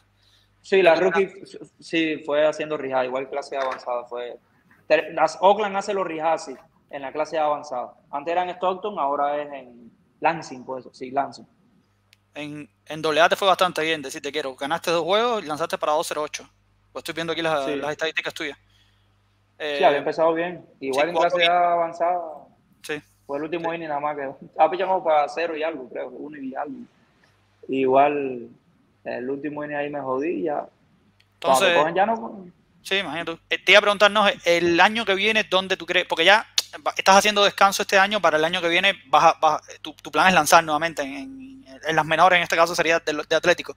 El, ¿Sabes dónde te van a poner? ¿Sabes el equipo dónde te ubicar? Imagino que sea AAA, ¿no? Pero espero que me lo digas. Bueno, eh, a veces Oakland es un poquito tramposo en ese, en ese aspecto porque eh, el año pasado fue mi, regla, mi Rule 5 y este año también. Todos los años, hasta que tú, cuando tú pagas el quinto año, después te pueden coger en los, los próximos años. Pero Oakland siempre me pone a mí, hasta incluso del año pasado, que está lesionado, me pone siempre en el, en el roster de AAA, sin haber terminado en AAA, para que ningún equipo me coja, porque el equipo que me coja me tiene que poner obligado en grandes ligas. Entonces, si hay algún equipo que lo que quiere es cogerte para darte oportunidad en AAA en su equipo, para ver cómo tú lo haces ese año, para ver si te sube para grandes ligas, no puedo hacerlo porque obligado tienen que subir para grandes ligas desde el principio. Y Oakland entonces me pone en AAA, no hay chance ninguno para mí. Pero yo creo que debo empezar en AAA. Porque cuando yo llego ahora a Oakland, en Arizona, que es el sprint trainer, llego como que estoy recuperado, ¿entiendes? No llego como un lesionado. Ya desde que llegue es lanzamos. ¿Crees que, te, que, que vas a, debes lanzar en el sprint training, no? En el sprint training sí, sí, sí, no, no, no, es seguro que voy a lanzar en sprint training, porque cuando yo llegue estoy bien ya. Pero espero eh, empezar en AAA. Bueno, desde ya, ¿no? Desde ya de mandamos nuestros mejores deseos ¿eh? para, para que tenga un 2022 mejor que todo lo que has tenido anteriormente. Ojalá que esa, esa dolencia en el brazo te dé, te dé un aire, ¿eh? que te dé, te dé, un break para ver si, si, puedes cumplir tu sueño de llegar a Grandes Ligas. Eh, quería ir un poquito atrás, eh, Noje. Eh, Camagüey, ya tú hablabas con tus tiempos. bueno, no, ya, ya vi Johandro Lin ya era un veterano. Eh, después que tú, te, que tú te fuiste, surgió una camada de jugadores, una camada de pitcher ahí que conformó un staff que era considerado en su momento el mejor staff de pitchero de la, de la serie nacional. Eh, ¿Sabes de, de, de, algún trabajo específico que se hizo buscando talento eh, para tratar de, lograr una, una, cosa como esta? Sí, ya se venía haciendo un trabajo de la aire con los lanzadores de mi, categoría, de mi año. Eh, trabajan con nosotros Michael Fernández, eh, Juan Armentero, Alexander, que también estuvo ahí en, el equipo Amoway. Y se vieron resultados después en, la serie nacional porque cuando llegamos a la serie nacional eh, tuvimos, para mí, el mejor entrenador que hay en Camagüey, incluso tiene una maestría. Conoce cada parte del cuerpo tuyo y qué cosa trabaja en cada carrera que tú haces en el terreno que es Edilberto Serrano. Y con ese señor allí pusimos de lleno el interés y fueron los resultados con el equipo de Camagüey entonces. El trabajo fue muy bueno, de verdad. No, en un, momento determinado Camagüey tenía, ahora, ahora está eh, de nuevo un problema, porque Ayariel está en Japón, no pueden contar con él. Yo soy Marco Busín, eh, pidió la baja a la Federación Cubana de, de Béisbol lo obligaron a pedir la baja. Sí, ajá. José, Ramón Rodríguez eh, no se sabe si va a estar en la próxima serie nacional. Lo, eh, vi en una foto en, Rusia. Ahora mismo estaba, estaba por Rusia. Y Fran bueno, lesionado de su brazo. Y tuvo que, tuvo que irse el contrato que tenía en Venezuela. Pero, pero fue un staff que, que con, con, varios tirando por encima de 90 millas. Sí, sí. Era muy buen staff, de verdad. Buenísimo. José Ramón, yo creo que después le hicieron el tomillón, no quedó muy bien. No ha podido volver a recuperar sus millas. Y seguramente anda buscando por ahí cómo ayudar a su familia en Rusia. Eh, no, según lo que dijo desde Rusia es que regresaba a Cuba, así que no tenían intenciones de quedarse, quedarse en Rusia, estaba de visita. Pero, pero bueno, se comentó, es algo que está comentando por estos días, por allá por, por la isla, ¿no? A propósito de la, de la preselección, porque ya Camagüey está entrenando y todavía José Ramón no, no se ha integrado al equipo. Sí, pero yo creo que Fran, Fran sí va a estar recuperado. A principio de la temporada no, pero ya va a estar recuperado, porque según ellos ya saben qué es lo que tiene y cómo van a, cuál es el plan en recuperarlo. Así que yo creo por lo menos con Fran, ya así con Yariel es imposible y con Josimar tampoco. Así que ahí está un poco complicada la cosa. Eh, ¿Sigues viendo entonces Serie Nacional, no? la, la sigues. Está, al tanto, está, está al tanto los toros de la llanura. Sí. ¿Cómo le va? Claro, compadre, claro. Eh, uno siempre sigue donde salió y le deseo siempre lo mejor de corazón. Lo sigo mayormente cuando llegan los playoffs y cuando ya están en la fase final. Igual que yo. los juegos que más televisan. Pero Camagüey todo el mundo sabe que eh, eh, es que en Cuba no más transmiten un solo juego. ¿De qué manera? Si ya no transmiten a Camagüey ese día, ya está jodida la cosa para poder verlo. No, en esa misma línea, mm, quería, quería mencionar acá, seguramente algo que, que, muchas personas que están ahora mismo en sintonía con, con el show no conocen. Cuando, cuando José Luis Ruiz se fue de Cuba, le dejó una carta a sus compañeros de equipo. Sí, hoy mismo casualmente nosotros tenemos un grupo de WhatsApp eh, que le llamamos los amigos 94. Y ahí hay muchos peloteros que estaban en ese momento allá en el ESO. Eh, yo le dejé una carta como que... ¿Con quién se la dejaste, no? ¿Con quién se la dejaste, si se puede Con un tío mío, con un ah. tío mío se la dejé, él se la llevó a Luis Gómez, que es actualmente que es equipo Cuba, que es mi mejor amigo. Eh, la leyeron ahí rapidito antes que llegara el hombre de la seguridad del Estado y la rompiera y dijera de que yo le dejé incluso maletines con ropa mía del, equipo Cuba y Spike y guantes y todas esas cosas, mi amistad de allá, y ellos eh, decomisaron eso. ¿Lo decomisaron? Y sí, sí, eh, se lo quitaron los muchachos y le dijeron de que no iba, no iba a ser utilizado nada de, de mí, que era un traidor con, la, con la escasez y la falta que hay ahí para los muchachos. Pero bueno, eso, tú sabes que hay algunas ridiculeces ahí que eso no está en control de, nadie. Eso, ¿Y, qué, ¿y, qué decía la carta, no? No, pidiéndole disculpas de que lo había, no, me había ido sin, sin despedirme, que es obligatorio no decir nada, porque uno no, sabe a, profundidad quién, quién puede decir algo sin, ni siquiera con intención. Y ya por ahí te, te cogen, te cogen el plan y deseándole lo mejor y como hasta ahora ha sido, que pueden contar conmigo para ayudarle en lo que sea. Ya no era nada en específico en realidad, era algo más emotivo. ya, ¿qué sensación tuviste cuando, cuando viste a Camagüey en una final? Oh, la primera sensación era que me hubiera gustado estar ahí, eh, pichando con ellos, de verdad. Pero fue algo agradable de corazón porque hay mucho. Ese es el tiempo mío. Los que estaban ahí jugando desde el año mío, Leonel Segura, eh, Luis Gómez, muchísimo, el hijo de Moa, Humberto Bravo, son muchachos que vienen conmigo de la pirámide, de la ID. Y verlo ahí bajado por un título, eso algo grande, ¿verdad? Se hizo algo bueno, parece que es muestra de que, se, de que había calidad. Nosotros fuimos tercer lugar en Cuba cuando éramos categorías infantiles y años menores fuimos, eh, Camagüey fue campeón al mando de Danilo Domínguez, que fue campeón mundial también, después con, el equipo Cuba, como director. Eh, Camagüey eliminó a Industriales, me parece, en esa serie. sí, sí, sí, sí, sí, mi suero, eh, la familia de mi, de mi esposa es de Camagüey. Yo he ido a Camagüey varias veces, ¿no? Y me, encendieron. Para poner la industrialista. Sí. Lo eliminaron en Camagüey. Lo eliminaron, sí, me, acuerdo, me, acuerdo de eso que yo estaba, pero no, me, dieron a mí. Me tocó a mí aguantar en esa ocasión. Yo, yo creo que fue la única vez que fui al latino esa temporada. Fue eh, un juego que el, latino estaba de bote en bote, pero estaba cayendo una clase de agua, un aguacero que, que, demoró el partido. Bueno, se suspendió y, y costó trabajo, porque el latino estaba lleno como hacía años que no estaba y sacar a todas esas personas, convencerla de que, bueno, no se puede desarrollar el partido, que, mira cómo está el terreno, porque estaba repleto el latinoamericano. Ese día fue la única vez que fui. Industriales también eh, llegaba a los playoffs, pero no llegaba tampoco tan lejos. Hacía años. Y las personas a veces tienen deseo. No me dejen ensayar. no me dejen ensayar. No, pero ustedes tienen una pila de campeonato. Mira Camagüey sí, sí. uno solo con, con ganadero en el año 67. Ese, Eso no se acuerda nadie. Ese, ese fue el playoff, ese fue el playoff que, que, que, ¿cómo se llama este? Anderson, Leslie Anderson se, se, se vistió de héroe. Acabó, acabó Leslie, de verdad. Contra un peloterazo, ese tipo un peloterazo. Con 50 años va a batear 300 pases.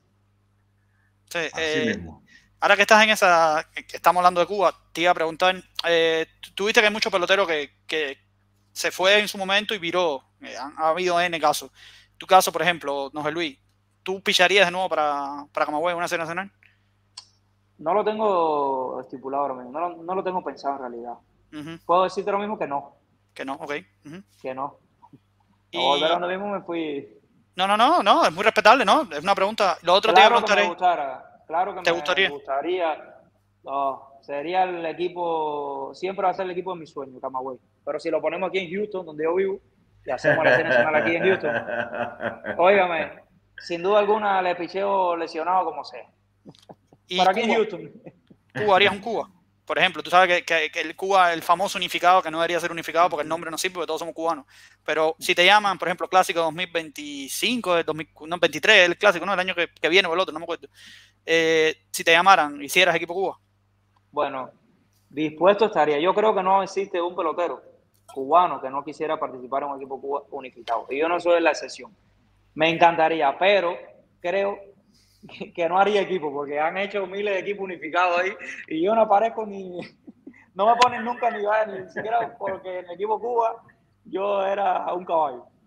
Pero, Pero bueno, sé que hay muchachos aquí que deberán demostrar en cada grandes ligas.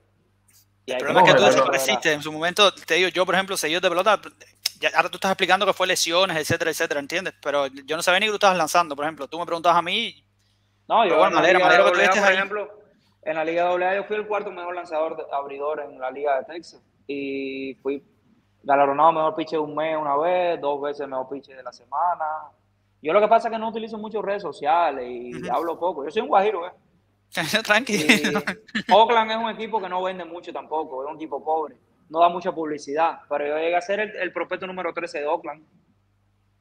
Tú sabes, no sé, tú que, cuando tú estás hablando, que tú hablas de Oakland, tú sabes, no sé si sabes que hubo problemas hace poco. Oakland fue una de la- de las que salió con problemas de los minor league, de, la- sí, de, la- de las ligas menores. Dice que, que hubo gente quejándose como que en Oakland los, los llevaban los llevaban mal, no les dejaban bien con en las ligas menores. ¿Has vivido algo de eso? Es decir, ¿tienes alguna opinión sobre eso? Me acuerdo que Oakland fue uno de los que más le dio palo. Las ligas menores son malas en todos los equipos. Yo he dormido en garajes de casas de personas que no conozco, en sótanos. Y porque tienen que conseguirte home families, te dan tres, tres noches nada más en un hotel y cuando ya se te acaban esas noches tienes que conseguir donde quedarte. A veces es, es penoso, de verdad, el sistema de ligas menores. Y los pagos, lo que te pagan tiene son nada que ver 1.200 con dólares mes ahí, 1.200 dólares al mes. ¿Qué es grandes ligas nada más? Aquí el pelotero de ligas menores es un pobretón que gana a 2 dólares la hora, si sacamos cuenta de verdad, a 2 dólares la hora. Pero eso es así en todos los equipos, no solamente Oakland. Sí, sí, Todos los equipos. sí. No, no, por, por eso, por eso, eso, eso es una, uno de los, de los reclamos del sindicato de peloteros ahora mismo a, a la patronal. Y por eso está eh, parado todo, ¿no? Hay muchos Le- equipos, hay muchos peloteros incluso juegan AA y AAA, que son mejores que hasta los que están en grandes ligas. Y el pago, el salario es 500 veces. Le, le- no, le, le- salió como que les iban a pagar a, a partir del año que viene les pagan housing. Es una de las cosas que iban a implementar No. Grandes Ligas. Yo creo que lo que iban a pa- era subir el salario.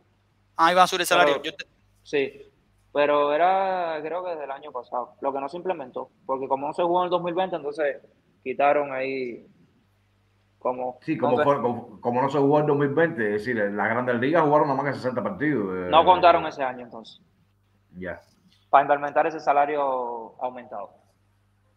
te iba, te iba a preguntarnos, el, el- te iba a decir una cosa antes, cuando, antes que ya a Cuba, después vamos a ver a Cuba, pero quería, el, el año que viene es un buen año, si estás bien, ojalá estés bien, porque yo te digo, Oakland para mí va a vender bastante, tú eres un pitcher joven y yo creo que si haces bien te deben subir. Para mí el año que viene es un año, y lo que te iba a preguntar era, en el caso de que ojalá y no pueda subir a grandes ligas, por ejemplo, ¿no has pensado en ligas asiáticas? Japón, Corea, Taipei. Claro que sí, Taipei oh, claro que sí, cómo no. Todo pelotero tiene eso en mente, mira, ustedes hablaban ahí de Asiel Puy, Taipei. Ujú. qué clase de peloterazo es. Desgraciadamente por su conducta en los equipos no, no lo han firmado más. Pero como pelotero, ese hombre es cinco estrellas. Y tiene que jugar para allá, para, para Asia, como a muchos que han ido para allá, a sostener a su familia. Sí, sin ningún tipo de problema yo iría a Asia, de verdad. Mañana mismo me voto a Oakland y yo estoy haciendo otra para equipos de Asia. Sin problema alguno. Ah, no pueden acercarse a ti. Porque yo he visto, por ejemplo, que, que a Minor League lo han, lo han llevado, se lo han llevado. Es decir, el equipo asiático compra el contrato. Lo que hace es comprar el contrato y se lo lleva. Pero no, pero tiene que ser que ellos te vayan a ver entonces a ti. Tú no puedes hacer tryout para ellos, por lo que veo. Hablan con el equipo mayormente. Perfecto. Porque ya tú pichas en la temporada, ellos te ven ya, de sobra te ven. Muy interesante. El... No sé si quería decir algo, Horizonte, pero tengo que ir una pregunta. No, no, no, no. aquí con Adelante. Estaba, estaba, yo mirando, buscando en, la, en los seguidores a, a, ver si salía alguna, alguna pregunta eh, que, que, estuviera todavía por hacerse a, a José Luis. Eh, a mí me interesaba el tema de los menores. Eso es un tema bastante oscuro, ¿no? Para, para mucha gente. Es decir, la gente tiene referencia beisbolera, Grandes Ligas, es lo que, es lo que más llega. Y, y ese mundo de las menores queda un poco opaco, ¿no? Eh, y bueno, tú decías, solamente le dan mm, tres, tres días en hoteles nada más. Y a veces, y, y, pasan más tiempo en, en, carretera, es decir, en, fuera, de, fuera de su estadio, es decir, como visitante. Ah, es, es el mismo, los mismos juegos afuera que adentro. Lo que pasa es que en AA, por ejemplo, eh, nosotros en la Liga de Texas, Texas es el estado más grande que hay en Estados Unidos. Sí. Y los viajes a veces son de 14 horas en un bus. Imagínense que he jugado ya salida dos veces. Ya yo estoy ya saturado ya de los viajes. Pero bueno. En, en, triple, en triple A hay, hay, un poquito de mejores condiciones. Sí, no, claro. Oh, el nivel, por lo menos en condiciones, estratosférico. Interesante. Ya viajan en avión, viajan en avión, eh, los clubhouse son mucho mejores, eh, son más profesionales en todo, todo los, peloteros. Bueno, casi siempre juegan grandes ligas, todos son grandes ligas. La liga AAA y grandes ligas es casi lo mismo. Lo que en grandes ligas están los, los que tienen un poquito más de nivel, pero AAA ahí están rehabilitándose los grandes ligas. los mejores prospectos de cada organización están ahí. La principal diferencia, con respecto, la principal diferencia con respecto a AA y, AA Plus, por ejemplo, eh, ¿cuáles serían? Con respecto a triple. El nivel de competición, claramente. Los peloteros, por ejemplo, aquí en AA le hacen un swing a una pelota, allá no. Tiene que pichar más fino. Y hasta incluso los umpires te explotan mucho. ¿Cuántas veces no he dado ponchado sin tirarle ahí enredado? Y, y umpire se come, la, se come el traje y yo digo, Dios mío, hermano. Y eh, la diferencia también es en la, en la manera de estar allí. Eh, el trato es diferente, más profesional.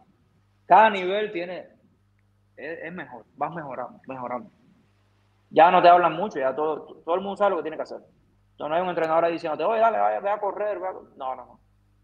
Pero bueno, ese, mira, ese, ese elemento que dijiste, triple A se viaja en avión, pero en doble A es todavía en ómnibus. Oh, por largas carreteras americanas. ¿Y qué viajes? Ah, qué complicado. Y no solo eso, el salario que ustedes creo que es menor que el mínimo. Si ustedes sacan la cuenta, pues ustedes juegan seis meses, ustedes no juegan todo el año. Si ustedes sacan lo que ustedes ganan al mes y lo multiplican por seis, eh, no, no, es tanto. si, existiera el dato en, en, la, en, la, página de MLB o del MILB, que es la página de Liga Menores, de cuántos peloteros piden su release por las condiciones que hay en Liga Menor. Lo que pasa es que el cubano, tú sabes que es guerrero y yo no soy la excepción. Y trata de llegar al nivel más alto, hasta incluso por ego o por meta o convicción. Porque ya en mi caso, coño, yo hasta por mí mismo en lo personal, yo digo, ¿cómo no voy a llegar si me he metido la vida entera sacrificado, entrenando, sacrificando tiempo con mi familia? Ahora mismo mi esposa está con mis dos niños, que son casi prácticamente recién nacidos. Uno tiene un año y la niña tiene tres meses nacida, está ahí para que yo venga y hable con ustedes. Son sacrificios que hace la, la familia de uno también. ¿Cómo uno se va a dejar vencer así? Hasta que el codo ese ahí que se parta de verdad ya, vamos a estar ahí hasta que... No, pero vamos, vamos, vamos a confiar que el 2022 va a ser, va a ser diferente.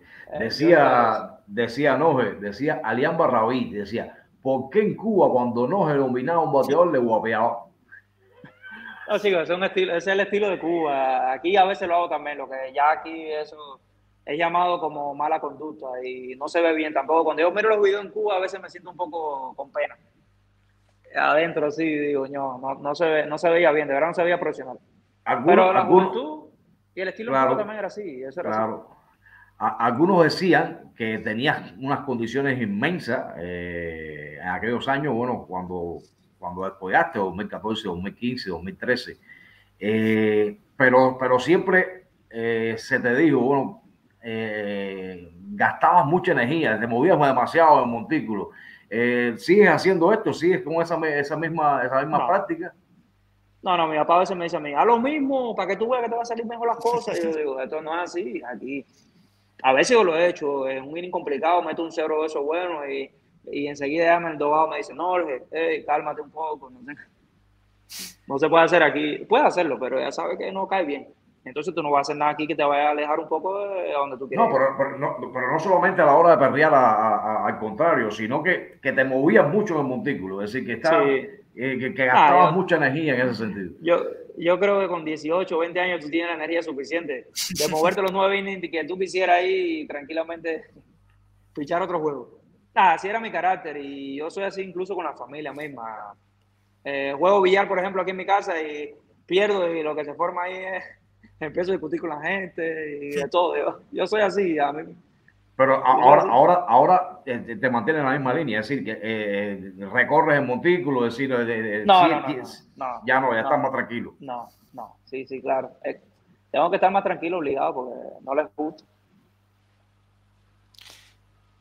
Una cosita, me dijiste que vives en Houston, no vives en... Sí. No, no, vives en Florida. Yo no sé si la mayoría de los cubanos viven, peloteros cubanos creo que viven en Florida. ¿Te gusta más? La mayoría, la mayoría. No es que me guste más, lo que pasa es que yo vine para acá con toda la familia, mis padres, mi hermana, y, y, saqué también de Cuba a toda la familia de mi esposa, que venía con su mamá, su padrastro y sus dos hermanos.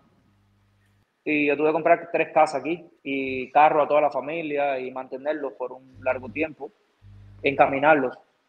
Y aquí en Houston, el bienes raíces, que es lo que se conoce como comprar casas y esas cosas aquí en Estados Unidos, es más económico. En la Florida, por ejemplo, la casa que yo tengo aquí, eso cuesta no sé, dos millones, pero aquí eso me ha costado 200 mil dólares. No podía en realidad vivir en la Florida. Entonces ya eh, pudiste, pudiste, sacar a toda la familia, es decir, de la que se fue contigo y después alguna más se ha, se ha sumado.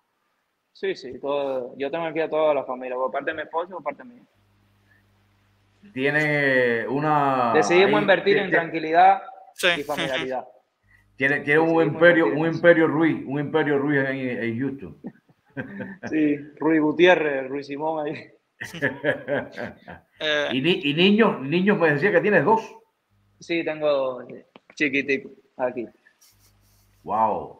Este año nació Allison, tiene tres meses, y el año pasado Nolan, como Nolan Ryan. Wow. Eh, Entonces, tiene, tiene, tienen, esa alegría la familia. Eso, ah. eso llena mucho, ¿eh?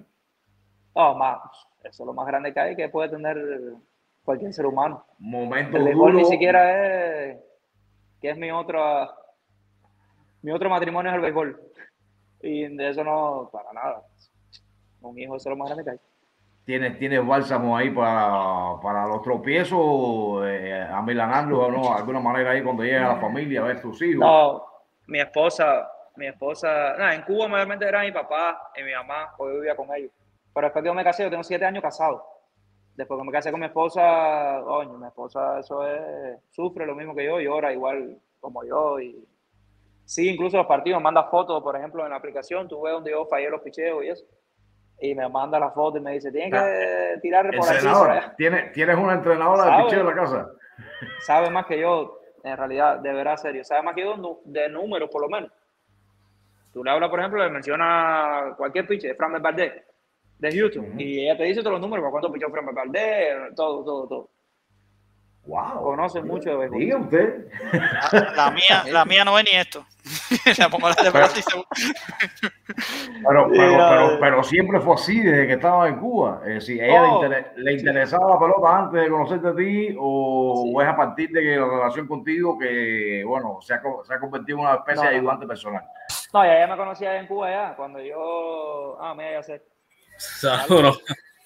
No, la cosa. No, no, no, eh, ya, ya Iseli ya en Cuba, ya eso. Me conocía ella, sabía todo. Bueno, quería, no, no, no, quería dejar pasar por alto un momento de enoje, porque para no se sintiera, coño, Yacel hizo toda la coordinación, hablamos por Facebook, por WhatsApp, por teléfono, y me dejó, me dejó solo con, con Horizonte y con Edgar, pero realmente él, llegué a Miami anoche y entonces he tenido que estar de aquí para allá con amigos, con peloteros y haciendo mis coordinaciones.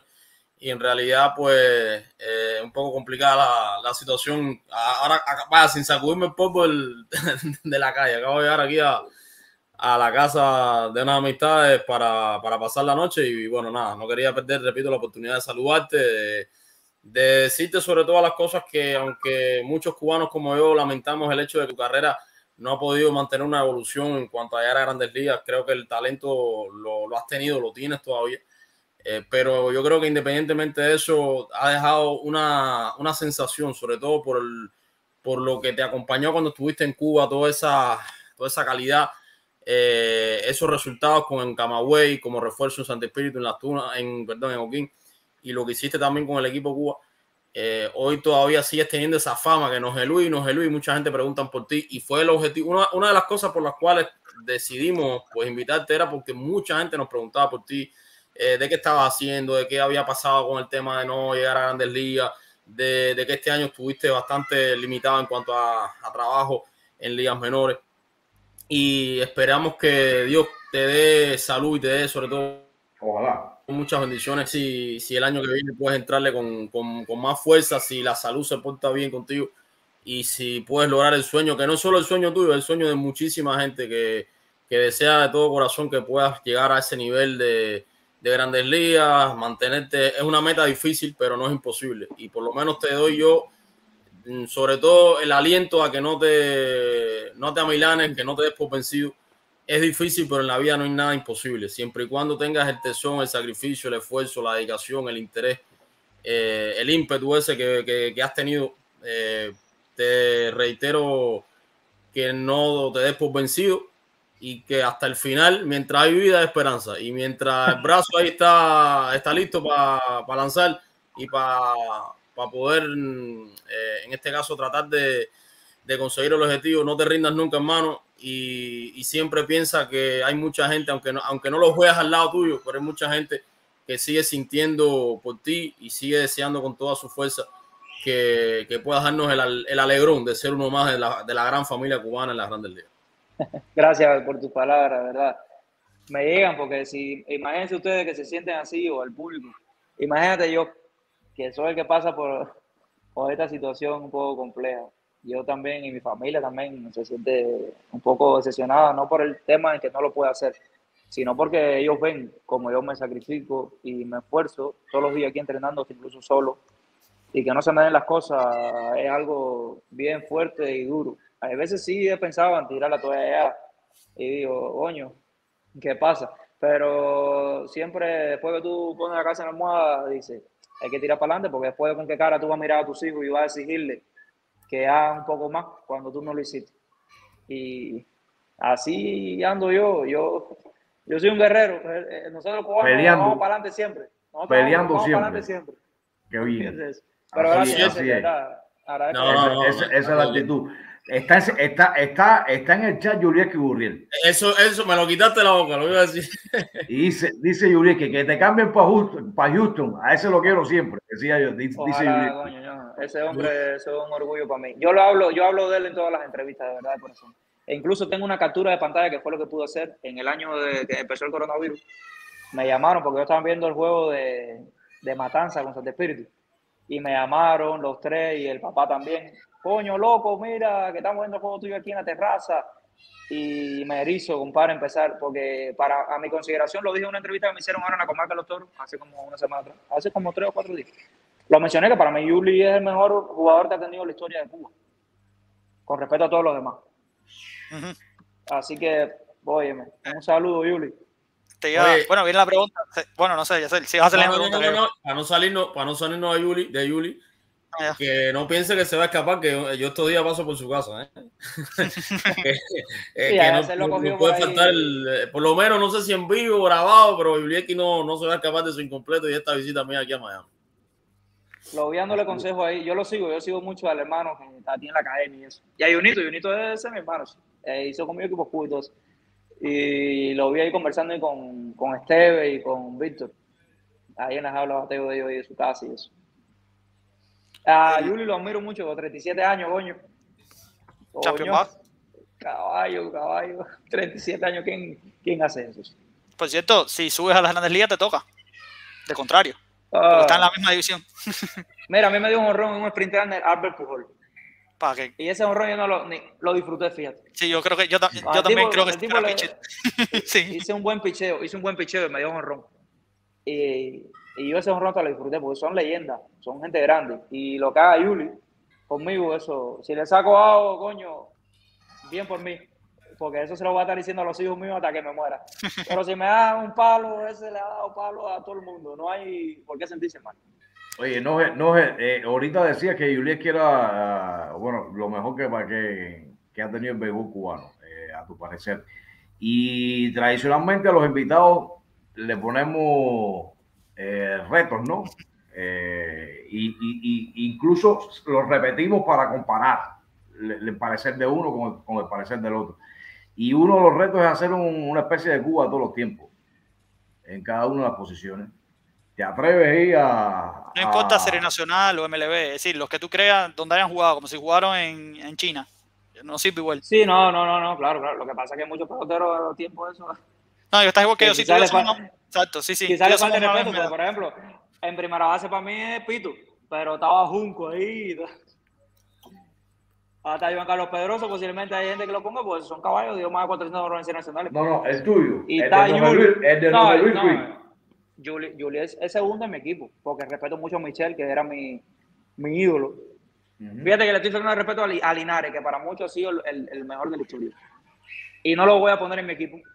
Pongo a Michel, porque mi ídolo siempre fue Michel, cuando era muchacho. Pues me hacía yo el bateador, me creía que era bateador. Pues no, y, usaba, y, usabas el 12, ¿no? Yo usaba el 12, sí. E incluso aquí en Liga Menor, en AA, he utilizado el 12. Creyéndome todavía que, que soy bateador. no, Pestano, Pestano, claro. Para mí, Pestano sí no tiene duda ninguna.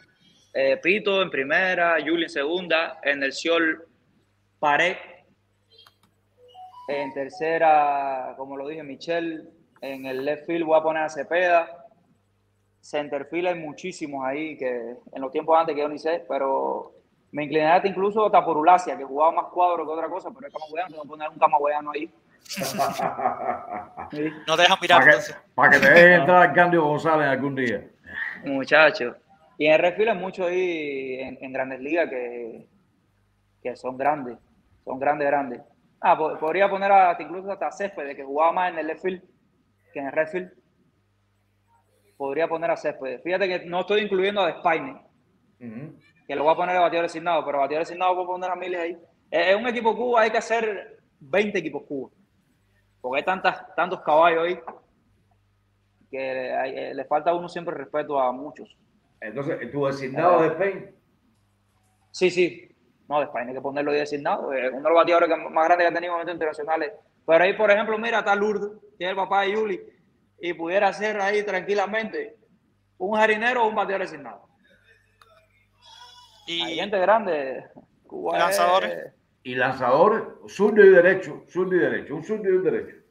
Un zurdo y un derecho, derecho José Fernández. Y zurdo, el más grande que ha tenido la historia del béisbol en Cuba, Chapman. Respetando a Contreras y a Pedro Luis Lazo, a hasta incluso Vivandro de Lee. Pero José Fernández lo que hizo en Grandes Ligas en tan poco tiempo y también a su memoria, hay que ponerlo siempre eh, como el lanzador derecho. De ya en la vista de derecho, vaya, voy a irme por Raizel, Raizel Iglesias, lo que ha hecho en Grandes Ligas de relevo ha sido grande. Bueno, ahora mismo firmó un contrato por cuatro años. Hay muchos buenos, hay muy buenos jugadores. No, eh, cada cual tiene su opinión del equipo cubano. Ah, Mana, a Junito lo voy a poner ahí atrás del fila ahí, ah, que está haciendo ah, unas cositas ahí. ¿Y como manager a quién escogería? Urquiola. Urquiola, ese hombre. Sí, Y que además te tocó en, esa serie del Caribe, que fue el último título del béisbol cubano en el que tú también tuviste con contribución indiscutible, Urquiola. Oye, por cierto, eh, yo, yo estaba, estaba escuchando el, programa intermitentemente, pero bueno, eh, cuéntanos un poquito de tu, de, en el off-season, qué haces, ratos libres, lo que te gusta comer, eh, no sé, en, habitualmente qué, a dónde te gusta ir, eh, ah. la música, la comida, no sé, habla un poquito de, de Luis Ruiz fuera del terreno. A mí me gusta mucho, bueno, mi plato preferido, no sé si fue porque lo comí mucho en Cuba, que lo sigo comiendo aquí incluso en los almuerzos casi todos los días. Es arroz blanco con huevo frito y platanito maduro. ¡Wow! Ese es mi plato preferido. Para que sepa. Pero me encantan las pastas. Me gustan mucho las pastas y me gusta probar, porque me gusta cocinar. en los ratos libres míos, me gusta cocinarle a la familia. Y no sé si es mentira o verdad, pero dicen las mujeres de la familia que cocino bien. Así que tengo ese talento para eso. Pero me gusta siempre con mi esposa. Pero, pero, pero cocina, cocina, cocina. O, no, no, yo, te, quedan, bien las pastas, porque yo conozco unos cuantos cocineros que dicen, no, yo soy cocinero, me quedan los espaguetis. No, no, no, eso no es cocinar. Lo, que tú me pidas, yo lo, yo, lo, yo lo cocino. Yo sigo mucho a, los chefs. Incluso veo muchos programas de chef. Eh, me gusta mucho Gordon Ramay, que tiene tres estrellas Michelin y eso. Yo, a mí me encanta la cocina. Te cocino risotto, paella, lo que tú quieras, platos difíciles. Yo cocino todo. A mí me, me gusta. Eh. Empecé tirando ahí unos brody, que eso no se comía. Pero ya, como lo mismo el picheo, uno va cogiendo la zona strike y va mejorando. Estamos, estamos en el mismo equipo. Yo me imagino que también el hecho de las ligas menores quizás te hayan enseñado un poquito en ese sentido, porque ahí te tienen que cocinar ustedes, ahí no hay, no vas a estar comiendo todos los días. Todos los días nos pagábamos yo ahí. Yo y un venezolano, Ángel Duno, eh, todos los días bajaba y a algunos que les gustaba más el sazón de él y a algunos más el sazón mío.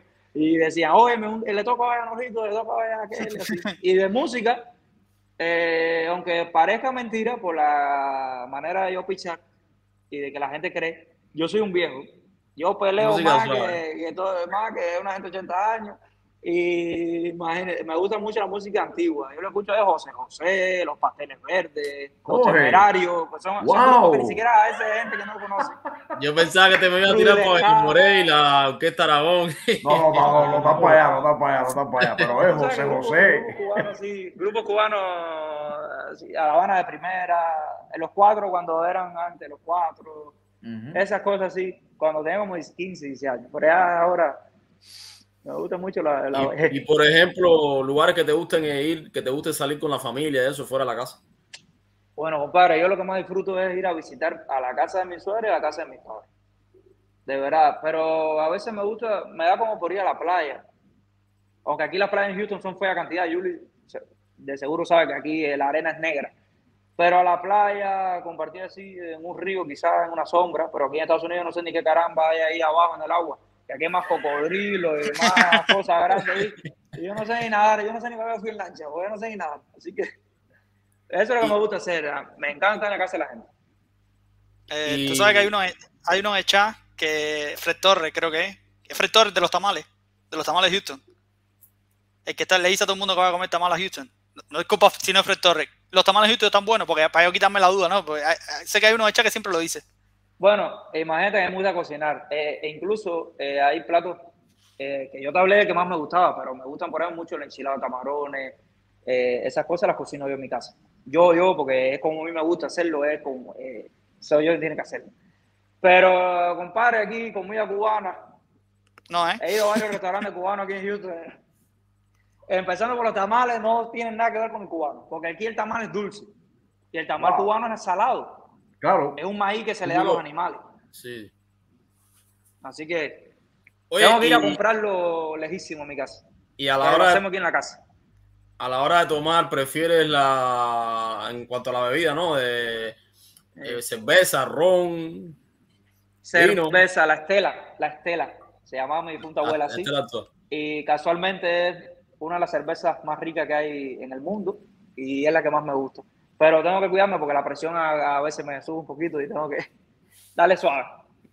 ¿No te aburre un poco a veces el no tener, eh, como no vives en Miami, no vives en lugares, digamos, donde hay muchos compañeros tuyos de pelota?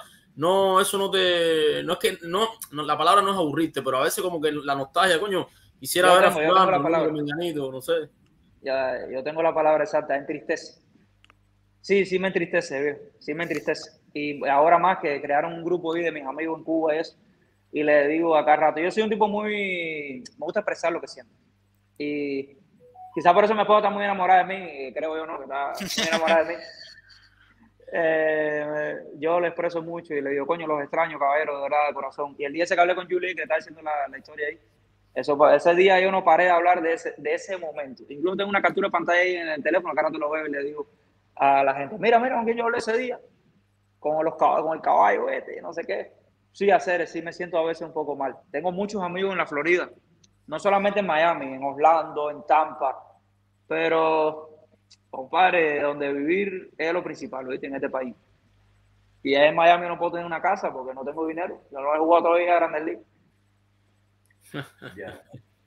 Bueno, hay mucha gente que está en el chat escribiendo desde Camagüey. Saludos de Pérez Arman, también Pedro Yaniel Díaz, que dice que desde Tarragona compartió en los terrenos contigo en las categorías escolares. Él, como entrenador de Cienfuegos, además de buen lanzador, era excelente bateador y tercera base. Eh, preguntan por acá, Joan Di Barona, que en qué parte de Houston vive. Vivo en The Goodlands. ¿Cerca del estadio o no? No, no, es un poquito retirado, porque me queda como a 45 minutos Houston. Yo siempre digo Houston para que la gente tenga referencia. Ajá. El lugar más, más eh, bueno, la capital es Austin, pero Houston es como más reconocido. Sí, claro. Pero de Goodland es un buen sitio. Julie debe saber. Me imagino que también esa nostalgia por Camagüey, mi hermano, de poder estar con tu gente, eso siempre, siempre es un sentimiento para, para el emigrado que yo creo que, que, dura hasta el final. Aunque vaya unos días, cuando regresas, vuelve entonces a, a contar de cero ese deseo de, de, estar con tu gente, con el barrio, la familia, las amistades. hay una foto, sí, no, hay una foto que, que, hay mucho en el Facebook circulando y eso, acá rato, que el inmigrante se va con una maleta, pero que deja el corazón en el otro lado. Sí. Claro, apartando la política, porque casi siempre todo el mundo se va o por política o por buscar un dinero y cosas así para dar una mejor vida a su familia. Apartando eso, claramente, coño, donde tú naciste, donde están tus amigos de verdad ahí, con los que tú te sientes en confianza. No solamente los míos, de todos nosotros. Es doloroso, pero el futuro y la comida de los hijos es lo principal. ¿No has podido, no has podido regresar a Cuba, no? Sí, sí, dos veces, he ido dos veces. Me casé en Cuba oficial. Yo estaba casado con mi esposa. Pero ahora como la economía está un poquitico mejor, que como estaba en Cuba, eh, fuimos, renté un hotel ahí y me llevé a todos mis amigos, mi esposa se llevó a todos sus amigos y a toda la familia completa y lo hicimos un ahí. Piso, un piso entero del hotel, un piso entero del hotel por ustedes. Ah, nos ayudaron ahí porque la mejor amiga de mi esposa, como ella trabaja en hoteles, ella nos ayudó con el hotel. Ya, fue, eh, fue, fue un bonito encuentro, fue un bonito encuentro seguramente. Oye, tú eres, eres, eres, eres, de Ciudad Camagüey, ¿verdad? Eh, de, de, la ciudad de Camagüey. Sí, sí pero yo, ni salía casi de mi casa, así que si me empiezas a preguntar nombres de esas cosas, yo ni me sé la... Yo voy en la, en la bicicleta, yo a todos lados, pero no sabía los, los, nombres. Y papá me decía, compadre, tú siempre estás lo mismo, ¿cómo tú estás? No sé qué. Oye, por acá, bueno, eh, te preguntaban por Miguel Romero, compañero de equipo tuyo, Guantanamero, que es menos conocido, como que a mucha gente le sorprendió su ascenso al máximo nivel. ¿Qué, qué nos puedes decir de, de, Romero? Hablé, hablé ahorita de él allí, que le dije a la gente que tiraba duro y eso. No, Miguel Romero, un, un prospectazo. Eh, a mi consideración se demoraron un poquito en, subir a Grandes Ligas. No debutó, pero por lo menos tuvo como 10 o 15 días allí. No, no, ese hombre puede establecerse en la liga tranquilamente. Porque hace falta que ya lo pongan ya, porque ya, uno tiene 27 ahorita. Cualquier cosita pasa y coño. Pero ese tipo es un, tremendo prospecto, tremendo. Me siento orgulloso. De, soy amigo de él en lo personal. Yo fui con él, lo que él fue como pitcher y yo fui como jugador. Al campeonato no hay día que yo, nosotros fuimos subcampeones mundiales. Él estaba en ese equipo, fue el único guantanamero. ¿El mundialito de Venezuela? Ese, él estaba allí, casualmente. Lo que era malísimo, era un jugador malísimo, yo le digo que él era malísimo, dice que era un tremendo no, sí. pero... Pero si, oye, si, si se equivocó a 9-10, eh, tiene alguna calidad tenido. Como pitcher, como pitcher, pero él se mete el día entero hablando que él era tremendo bateador y... es malísimo. Oye, si tuvieras que decir tu mayor virtud y tu principal defecto como persona. Sí, bueno, mi virtud es que yo velo primero por los demás que antes por mí. Y mi defecto es que discuto todo, compadre. Yo me creo que tengo la razón en todo. Como todos los cubanos, yo creo, pero yo voy un poquito más allá. Oye, eh, bueno, para nadie es un secreto que el béisbol cubano a nivel interno, no yo sigo diciendo que, que ustedes, la representación cubana en los Estados Unidos, en Japón, en las principales ligas del mundo, eh, son la mayor muestra que el béisbol cubano sigue vivo, por lo menos en el talento individual. Sin embargo, la selección nacional, con todas las derrotas habidas y por haber desde aquella serie del Caribe del 2015, eh, la serie nacional y la estructura realmente está en una situación bastante delicada, bastante eh, discreta. ¿Qué tú crees que es lo que está golpeando más al béisbol cubano hoy día? tanto ese equipo Cuba que no gana, tanto esa serie nacional y cuáles son las posibles soluciones que tú ves, al menos las que, las que tú crees que son más efectivas, las que tú piensas que, que al menos en, un futuro inmediato se deben eh, implementar dentro de la pelota cubana para mejorar y para que se mejoren todos esos resultados y no solo dependa de los, que, de los cubanos que están en el mundo, la única imagen positiva del béisbol en Cuba. Bueno, empezando de que se fue todo el mundo, un, un tiempo para acá, que se fue todo el equipo Cuba casi completo. Hasta lo que se pensaba que no se iba a ir nunca se fueron. Y segundo, creo que están quemando mucho. Hay muchachos que creo que a veces no están listos, pero las provincias tienen que ponerlo a jugar porque no tienen pelotero. No, no pueden sacar de otro sitio. Creo que es eso. Y en, internacionalmente, la única posibilidad que tiene Cuba, creo yo, respetando todos los peloteros que hay en Cuba, respetándolo. Pero claramente, hasta incluso yo no tengo ni que ir al equipo Cuba. No tengo. No que puedo ir ni siquiera, yo creo. Pero Cuba no más tiene chance llevándolos de aquí, de los que te juegan en, grandes ligas. Lo hace Dominicana, lo hacen todos los equipos y han ganado los clásicos y han hecho todo. Cuba es el único país que no hace eso. Por eso que estamos como estamos. Claro. Aunque haya talento en Cuba, que hay peloteros que pueden hacer equipos, como el caso del Arcón, eh, que echando, hay muchos pitchers, el caso de Yariel, el Camagüeyano. Hay, hay, jugadores que se pueden incluir en el equipo Cuba. Pero si llévalos de aquí, está, está apretada la cosa, está para mí.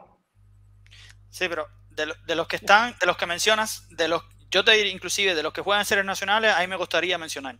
Yo te diría, por ejemplo, que juegan en Japón. No, no, te, con todo respeto que se merece la gente de la serie nacional, pero yo veo que el nivel para poder enfrentar un clásico mundial tiene que ser fuera de, o juegas en Asia, que todas las ligas son mejores que la cubana, o juegas en, inclusive en las menores de Estados Unidos, te diría que mucho. Por eso te digo, yo no te quito a ti, ¿no? Porque el nivel de las menores de Estados Unidos es mejor que la liga cubana actualmente.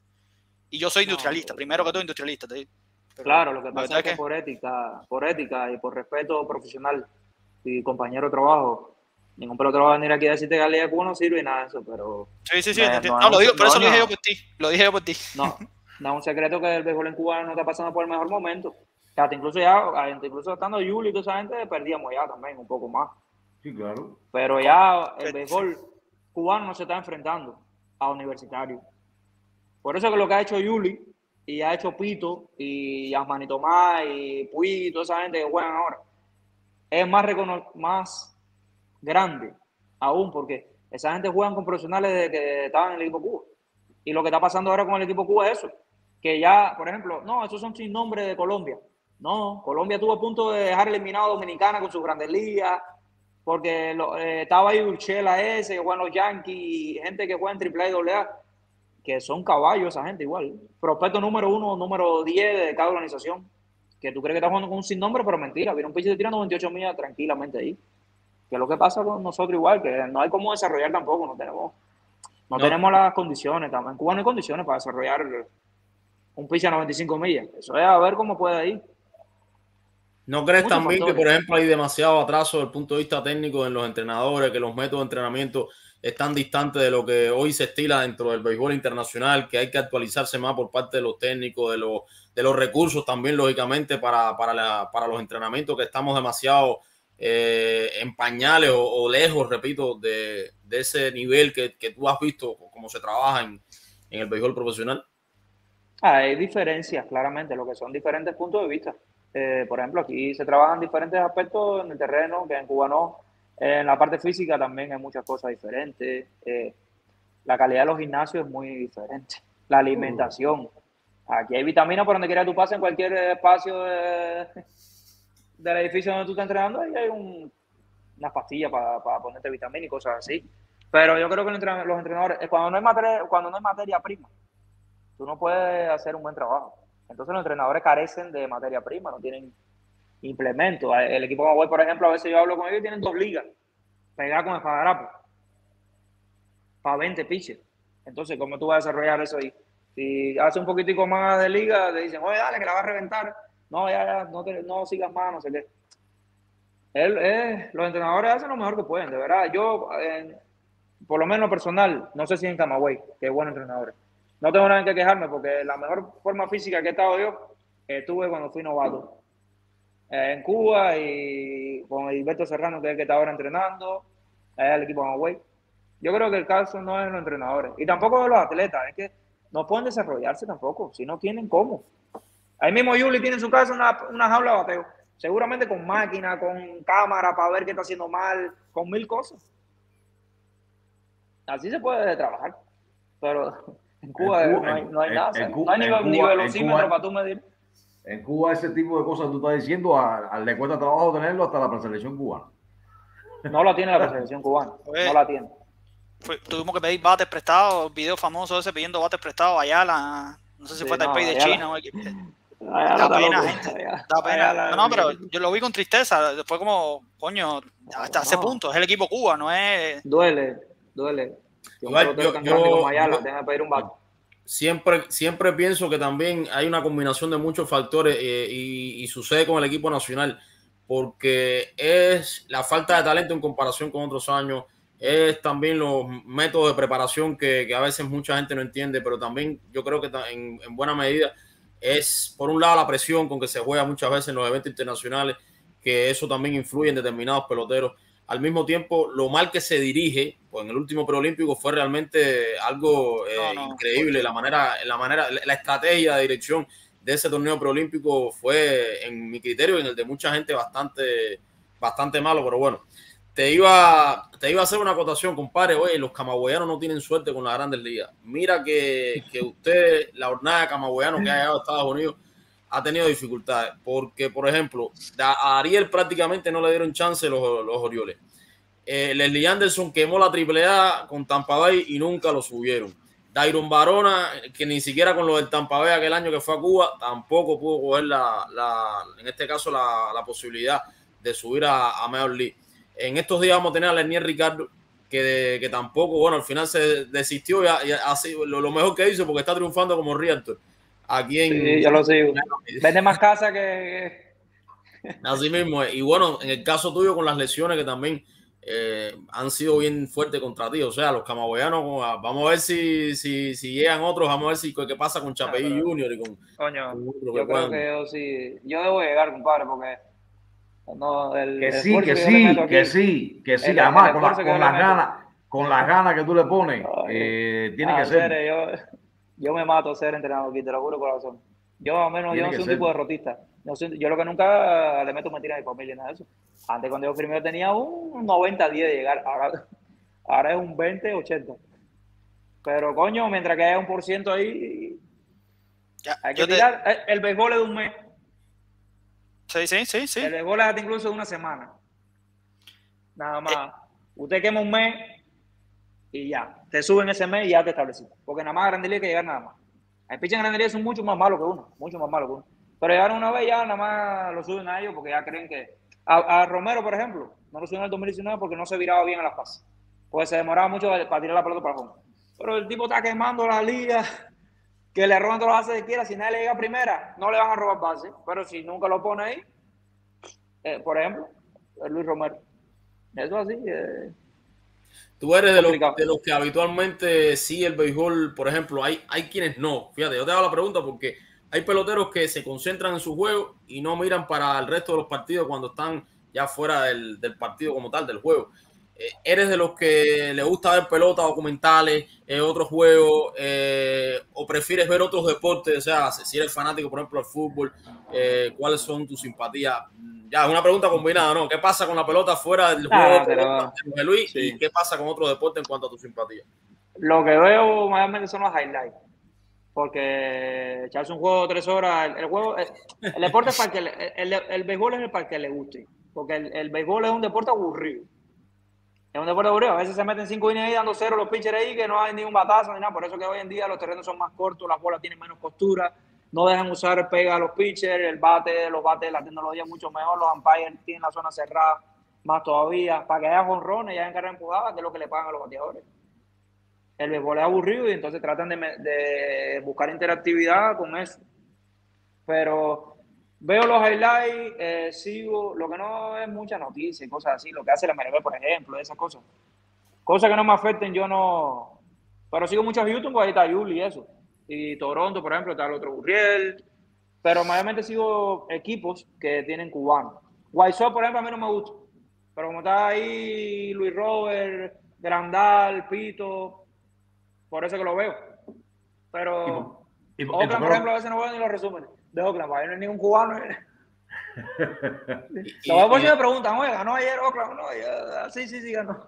¿Y de los demás deportes eres seguidor del fútbol? Oh, el más grande de todos los tiempos ganó el séptimo balón de oro ahora. Oh, ese, ese, es más grande, más grande. La gente dice que, que, no se lo ganó, que no sé. Ese hombre crea, crea más juegos. Lewandowski es eh, igual que, que Cristiano Ronaldo. Ahí al lado de la portería para no empujarla y no me lo tira. Que no te oigo Orizamet de España porque entra aquí y, y, y, la forma contigo ahora mismo por el tema de Orizamet, caballo. Mira, ese es uno de los que cogió para Asia. Llegó a Grandes Ligas, incluso tuvo varias veces ahí para darnos irnos y nos robó incluso con San Diego. Y todos los equipos lo, cambia para aquí, cambia para allá, no sé qué, no dejaron establecerse el pobre hombre. Y miren Asia, mira Miranda, el zurdo Miranda, que ah, yo creo que hasta le dieron hasta Riley y buscó vida y mira dónde está el, el pitcher con, con un récord que más ponche eh, extranjero que ha tenido la Liga de Corea. Mira José Miguel Fernández, que lo que tuvo fueron dos turnos ahí en Grandes Ligas ahí, y entre peleadas no había que sacar un AO.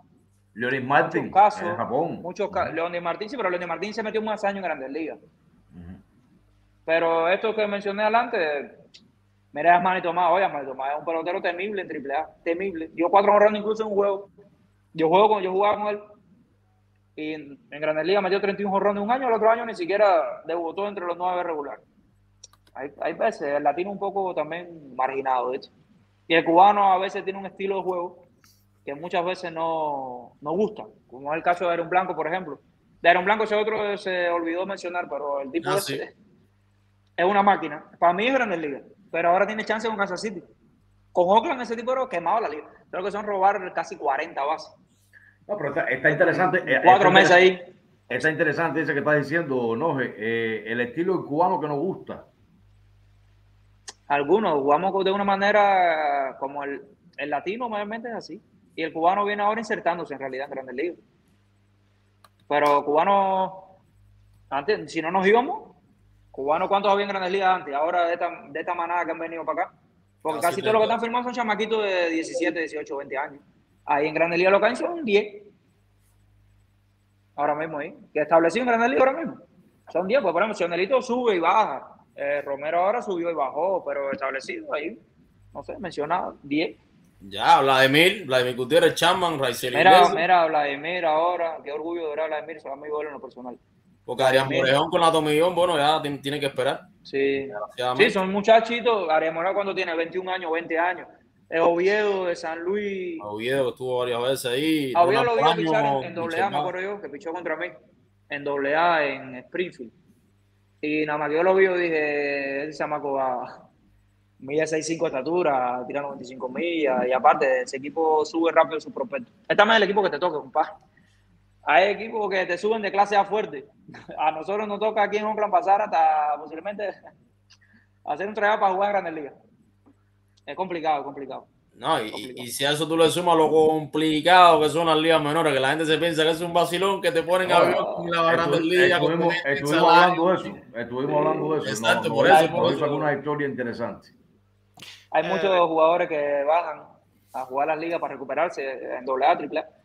Y ellos lo dicen. Por ejemplo, los pitchers dicen, es, es más difícil pichar aquí, en triple A, el caso de triple A. Por el- lo que es el clima, el, el estadio y todas esas cosas. Y que la gente anda buscando comida para abajo. Todo el mundo anda comiendo. Lo que un rolling al sol es hago en, en grandes ligas, porque son tipos establecidos ya. En ligas menores, apúrate que, que hay chachachá ahí en primera. Porque la gente está buscando comida, el dinero está de arriba. Esto aquí es un trabajo. En Cuba se jugaba por, por, por- porque de verdad que uno le gustaba y amaba eso. Porque con las condiciones que uno tiene allá hay que amar eso, de verdad. Pero aquí es un trabajo. Te despiden, te contratan, hacen contigo lo que quieran. Tienen su derecho porque tienen un contrato. Entonces, hay miles de peloteros que matan las ligas menores y no suben para Grandes Ligas. Hay muchos que no lo hacen tan bien y suben. Es, es cuestión de lo que el equipo necesite. También, ¿entiendes? Estabas hablando de, de camaboyanos ahorita, de camaboyanos peloteros, y te iba a preguntar por uno que, está, en, está en Japón, si mal no recuerdo, Yariel Rodríguez. Está en Japón, ¿no? Sí, sí, tu sí. Opinión, Sí. Tu opinión de, de Yariel, porque creo, si mal no, en el Dragones de Chunichi está Yariel Rodríguez, ¿no? Sí, de, de los dragones, exactamente. Que en un momento determinado se ha hablado incluso de Yariel como el mejor pitcher que queda en Cuba, de los que Exacto. por supuesto no han firmado fuera del convenio de la federación. Sin duda alguna es el mejor pitcher que queda en Cuba. El Sin duda gallego, no hay el gallego otro de que San esté cerca. Sí, el gallero San Serapio. No, pichar mucho no lo he visto porque Sí, lo he visto en los playoffs que jugó Camagüey cuando discutió la final. Pero, coño, por lo que me dice mi, mi amigo Luis Gómez, que es íntimo amigo de él también, eh, me dice que el tipo es un fenómeno. Un fenómeno. Y ya lo vemos en Japón, coño, le hicieron encontrar ahora mismo como de 500 mil dólares. No, un cubano no gana muy fácil estando dentro de Cuba 500 mil dólares. Porque normalmente la gente se aprovecha, los equipos se aprovechan también, porque saben que darle a un cubano 20 mil dólares, eso es. Ya tú sabes. Tira cohete, tira Un cohete. rey, un rey- un rey en Camagüey. 500 mil. Imagínate 500 mil. Y ese tipo que es un guajiro de San Serapio, que eso es un monte. Ese tipo está vuelto loco con todo el dinero ese ahí.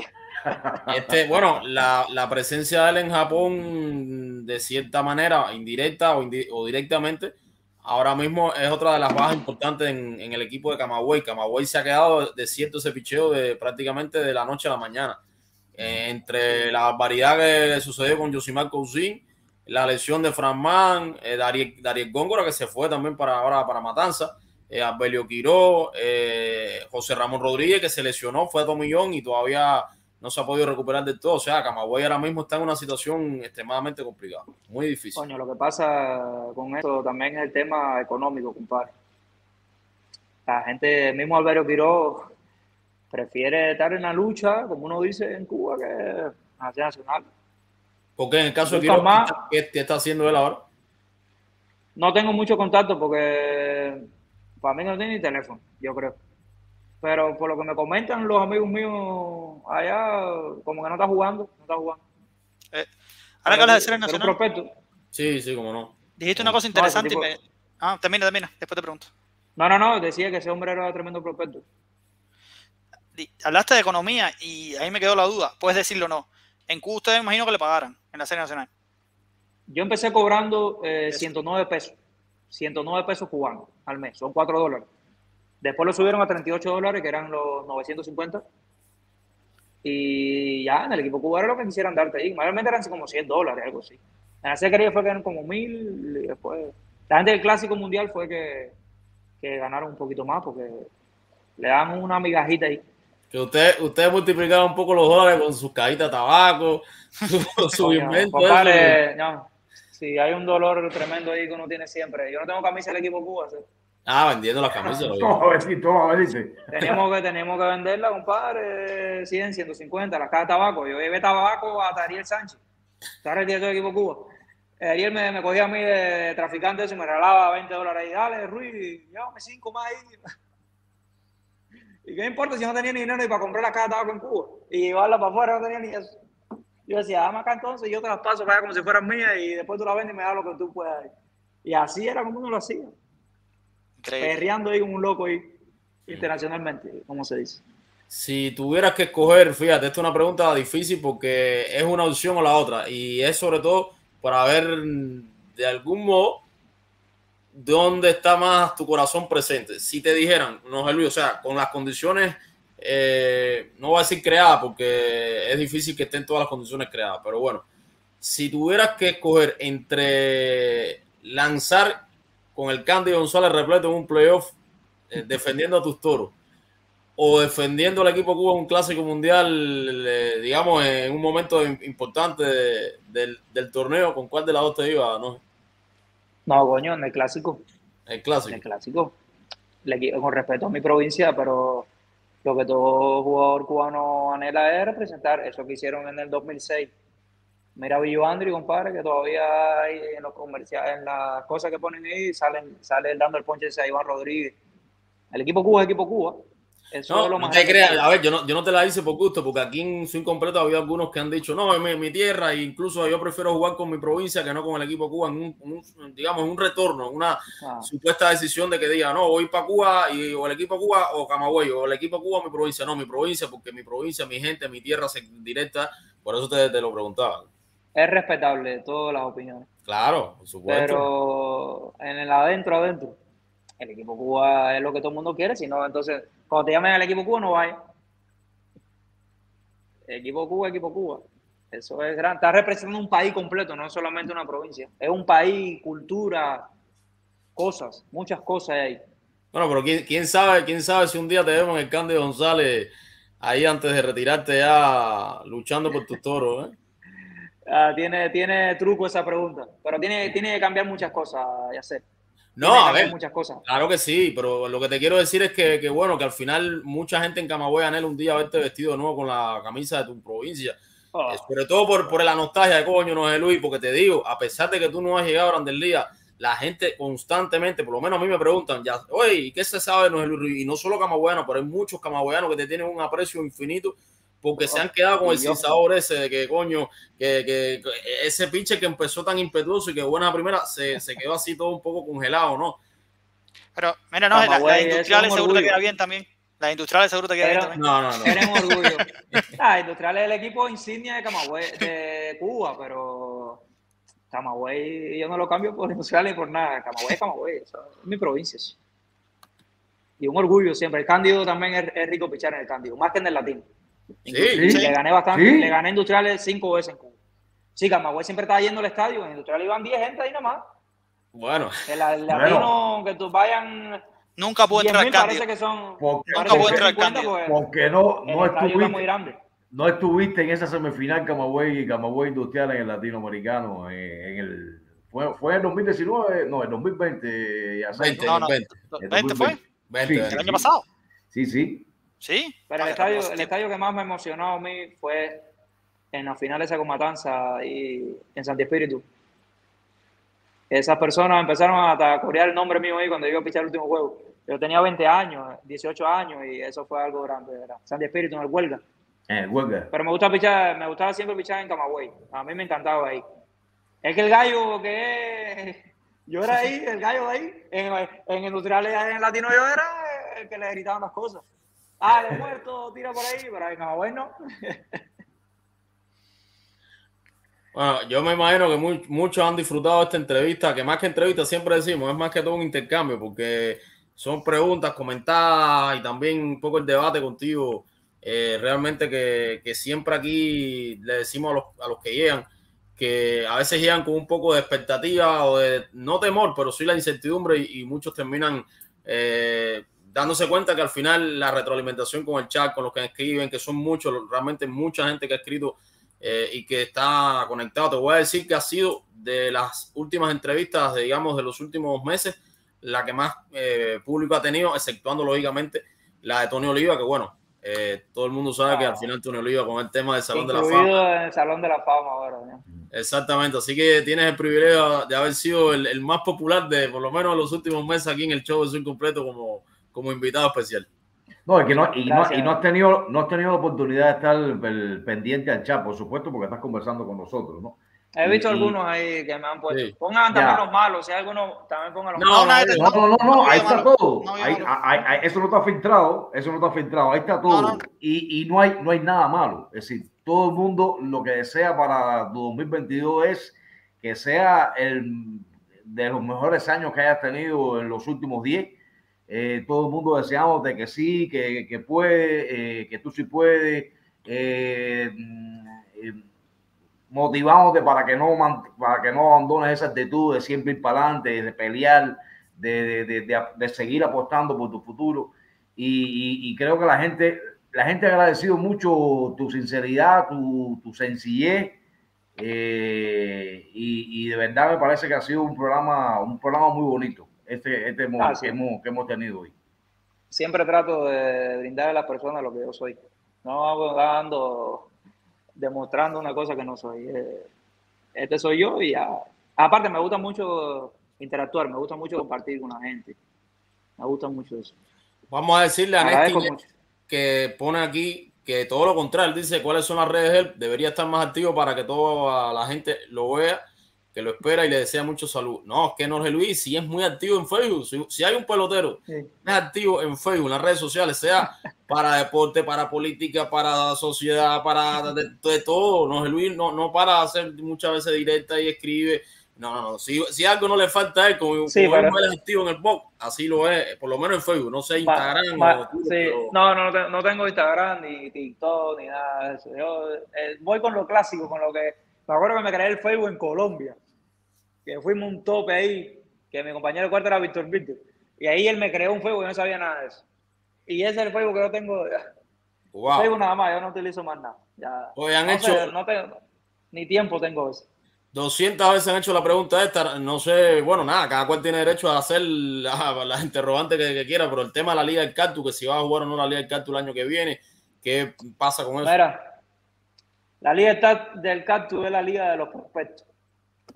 Fíjese si mi brazo no me ha dejado ni siquiera contar con ese galardón, que Oakland me ha querido llevar a la Liga del Cactus dos veces. Yo incluso tenía ya mi camisa con el nombre mío, el número 59 y no pude ir porque las dos veces que me iba a llevar tuve que quedarme en Arizona a recuperarme el brazo.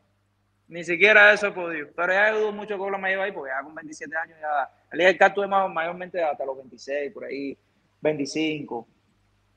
O a los pitches que le, que le faltan ir. Yo este año iba a ir a Liga del también. Pero ya un mes antes de terminar la temporada me dijeron que ya para qué, si me mandaron reposo absoluto por el brazo. Exacto. Dice por acá que el uniforme de Villa Clara te quedaba bien también, se te veía muy bien en la serie del Caribe de, Isla Margarita. No, no, él, probó una cantidad de uniformes, nada más que le faltó uno de los ah. de Santiago Industrial de los equipos grandes de, de clásico, no, Sí, no, yo piché con, yo piché con, con seis equipos. Nada, yo en Cuba gocé de, mis momentos, de los momentos más felices de mi carrera. Porque si no yo nunca Grandes Ligas, son los momentos que quedarán. Cada ser humano trata de hacer lo mejor que puede en su vida. Y si hasta aquí, hasta donde llegué, compadre, voy a sentirme súper orgulloso porque lo doy todo. Yo, cada vez que salgo, entro en un gimnasio, eso es a desbaratarme.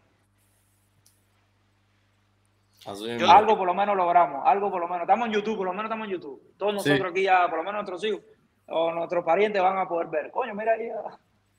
Así mismo. ah, a lo mejor el año que viene en esta fecha más o menos te tenemos aquí ya con, con, la experiencia de lo que pasó este año con los Atléticos de Oakland del 2022, me dice, no, ese juego que le piché a Houston cuando tuve que pichar a Yuli y que entonces lo tenía en 3 y 2 y le tuve que ah, Yo siempre, siempre estoy dispuesto, compadre, siempre, de verdad. Siempre. Eh, eh, en esa entrevista la primera pregunta va a ser cómo fue cuando te hicieron la llamada, ¿no? Esa me voy a encargar yo. Si estoy yo, te voy a hacer la primera pregunta, te voy a hacer yo. Ven ¿cómo fue la llamada? Porque es una pregunta que ah, yo, como... me, yo me encargaré de publicarlo porque no solamente las personas que han escrito en el chat y eso, hay muchas personas con esas expectativas, esperando ese momento, incluso en Cuba. La mayoría están en Cuba, todos mis amigos. E incluso tenemos un grupo ahí, que lo he dicho varias veces, que yo les he contado, ¿no? Mi situación, de mi brazo y de cómo me he ido aquí, y qué tan cerca he estado y todo eso. Y me dicen, coño, compadre, dale, métele, que tú aquí eras para nosotros nuestro apoyo, no sé qué, no te, no te rinda, hay muchas personas, yo sé que hay muchas personas que me desean bien. yo creo que sí, compadre. Vamos a ver. y una buena señal, una buena señal es que si hasta ahora no te han dado release, eso es porque todavía hay confianza en ti por parte de Oakland. Fíjate. Voy a hacer, acaba de decir algo importantísimo. Yo pienso en eso cada noche que me acuesto. No te dejan tampoco, me dijiste para, para el traje de regla 5 no te dejan libre tampoco. No, me ponen en el roster AAA y es difícil que alguien me coja porque Nadie, va a coger un pitcher que no ha tenido resultados ni siquiera en AAA. Eso es muy difícil. Pero que también me quitan oportunidades, Oakland mismo me lo quita. Ellos quieren que yo llegue con ellos a Grandes Ligas, ellos tienen planes conmigo. ¿no? Es, pero eso que dijo Yacer es algo importantísimo. Yo, sé que Yacer conoce, y como todos ustedes también, ¿no? Pero ahora Yacer está, está aquí y se involucra. Y algo importante. Si no me han dado hasta ahora, yo se lo he dicho a la, esposa me le digo. Haz planes que posiblemente vamos para allá, para Japón, a comer sushi y eso, este mismo año. Oye, va a hacer, a veces digo, de verdad que esta gente tiene una fe conmigo porque este brazo no me deja caminar y yo digo, están cansar de mí, pero soy un tipo muy preocupado por el inglés y soy disciplinado y trabajo fuerte. Y eso, eso el otro día estábamos hablando de ese tema del inglés. Eh, tenía un debate yo con Daniel de malas y que hay peloteros más despreocupados, hay otros que son más preocupados. mira, ahora mencionas, creo que es muy importante esto, el enfocarte en el idioma que te, abre muchas puertas, aunque, aunque pienses que no te abre muchas puertas en el presente y oh. sobre todo en el futuro. Claro que sí, si yo de entrenador puedo quedarme en cualquier organización. ¿Ya manejas bien, ya maneja bien el inglés? No, no al 100%, claramente. 100% no vamos a tener nadie aquí. Pero, compare, me comunico y por lo menos no me quedo con hambre en un restaurante y en los bullpenes puedo hablar del picheo que estoy fallando con los entrenadores. Yo me cogen a veces tra traductor ahí con el inglés, así. Yo hablo siempre en presente, yo no hablo en pasado ni en futuro. Lo mío es presente nada más, pero me entienden. Ahí la idea esencial, por lo menos la captan ahí. Y ahí voy machucando y sacando y ahí. Te iba, te iba a preguntarnos que dijiste que obviamente después de tu carrera en la MLB, ¿cuál es tu... ¿Qué tienes en el futuro? ¿Qué te ves? ¿Entrenador? ¿Te gustaría ser entrenador? Uh, no sé, compadre, yo a veces soy un poco exigente y no me gusta caer como pesado y autosuficiente. Prefiero quedarme tranquilo en mi casa. Yo tengo un negocio aquí, yo tengo una compañía de rastra y soy también negociante de bienes raíces y cosas así, igual que les y eso. Prefiero dedicarme a esas cosas que un terreno de pelota, ya después que uno tiene muchos años en un terreno de pelota, es complicado, pero nunca uno sabe. A mí me gusta enseñar, me gusta enseñar.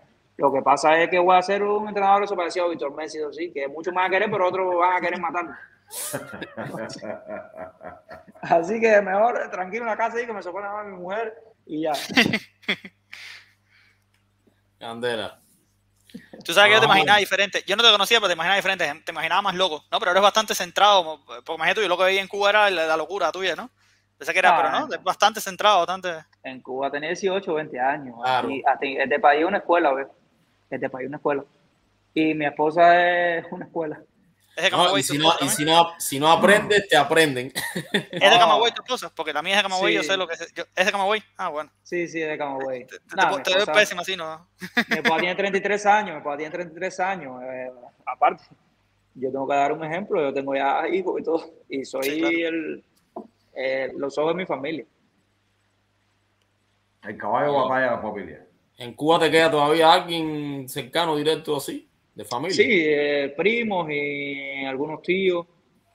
Eh, mi abuelita ahora, producto de la vacuna en Cuba, murió. No le hizo bien, parece, la vacuna soberana que pusieron ahí. La segunda dosis no aguantó y se murió. Wow.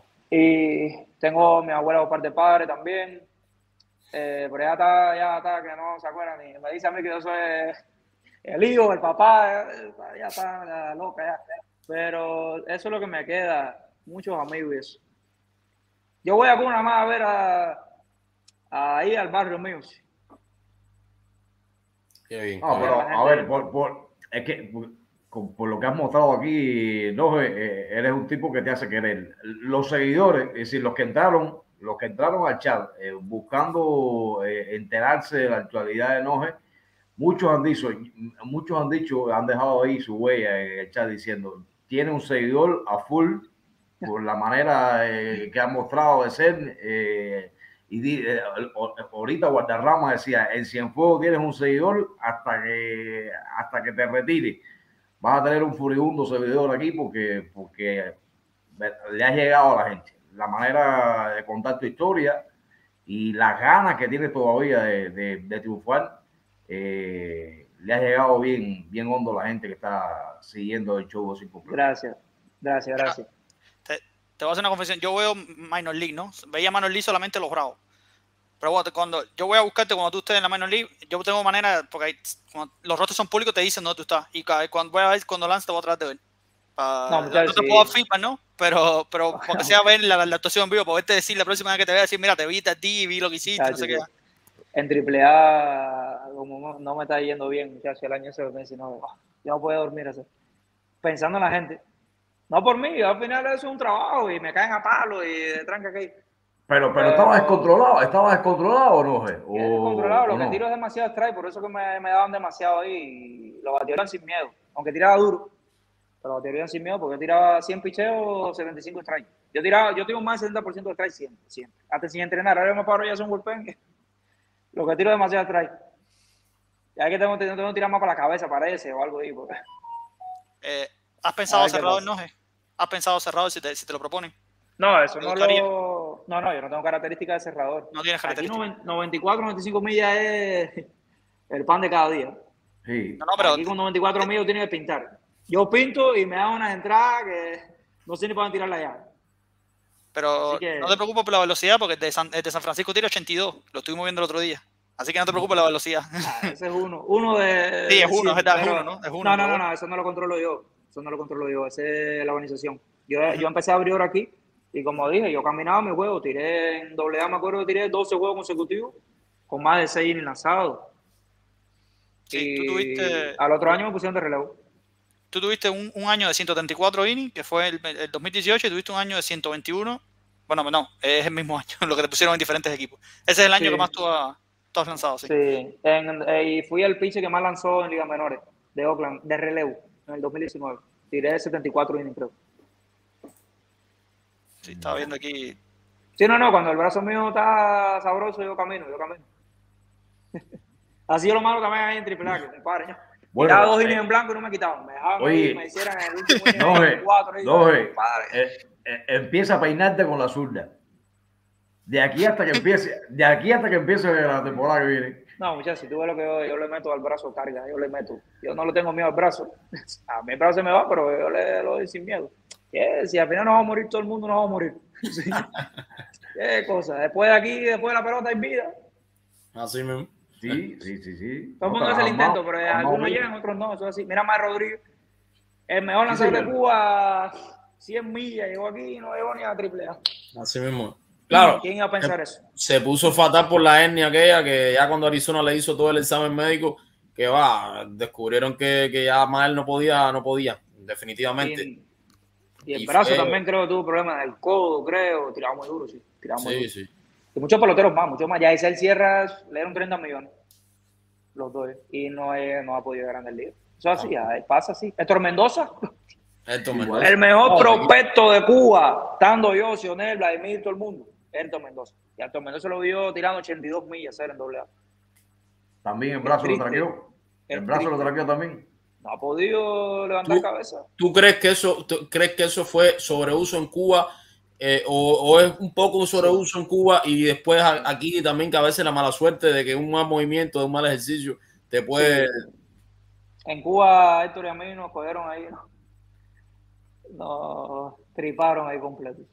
Nos, nos sobreusaron un poquitico. ahí. Y No, y esto- y también. Y, y también. y- no, y esto también pasó por Japón, que Japón exprime Ah. a los pitchers. Sí. Ya a los pitchers. Japón yo no sé cómo, cómo Moinelo y Reyes Martínez, bueno, también son relevistas, pero... Yo no estoy de acuerdo en eso que hacen ahí en Cuba, de verdad, con esos pitchers. Yo no estoy de acuerdo con eso. No lo hace nadie. Pichar su Sí, temporada completa y ya tiene que ir sin entrenar ahí para el equipo Cuba.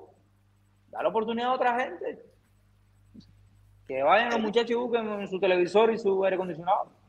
A esos muchachos que le va a joder el brazo y le va a joder el futuro por gusto. Pero bueno, eh, hay mucho que cada cual, cada cual es a su manera, pero yo pienso que, que al final estos dos casos, tanto Moinelo como Reyes Martínez, son pitchers de grandes ligas.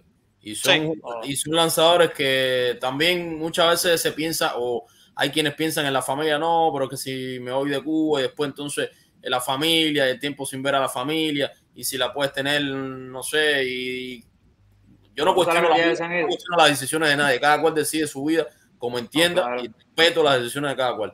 Pero No, en claro. realidad yo pienso que ya Raidel y Moinelo hace, ah, ya mm, no es que no hagan nada en Japón, no, sé, no es la palabra la que quiero usar, pero el temor mío es que sigan desperdiciando talento en una liga donde más tarde o más temprano le va a cantar el brazo por, el, por ese sobre, sobreuso. Ah, pero ellos ganan millones ya. Sí, claro, ¿no? Que- por Ya supuesto, millones. Ellos pueden viajar ya el mundo entero si quieren. No hace falta jugar aquí. Lo que aquí ganarían un poco más.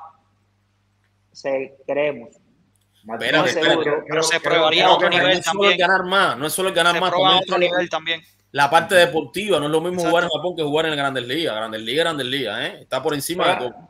pero tú sabes que el ser humano es un poco conformista a veces. Ya lo han hecho mucho. Ya. Ellos ven que ahí tienen economía, se sienten bien, ya conocen el país. No sé qué. En los cambios hay que tener valor para hacer 2,9. cambios. Le dieron 2,9 por un año.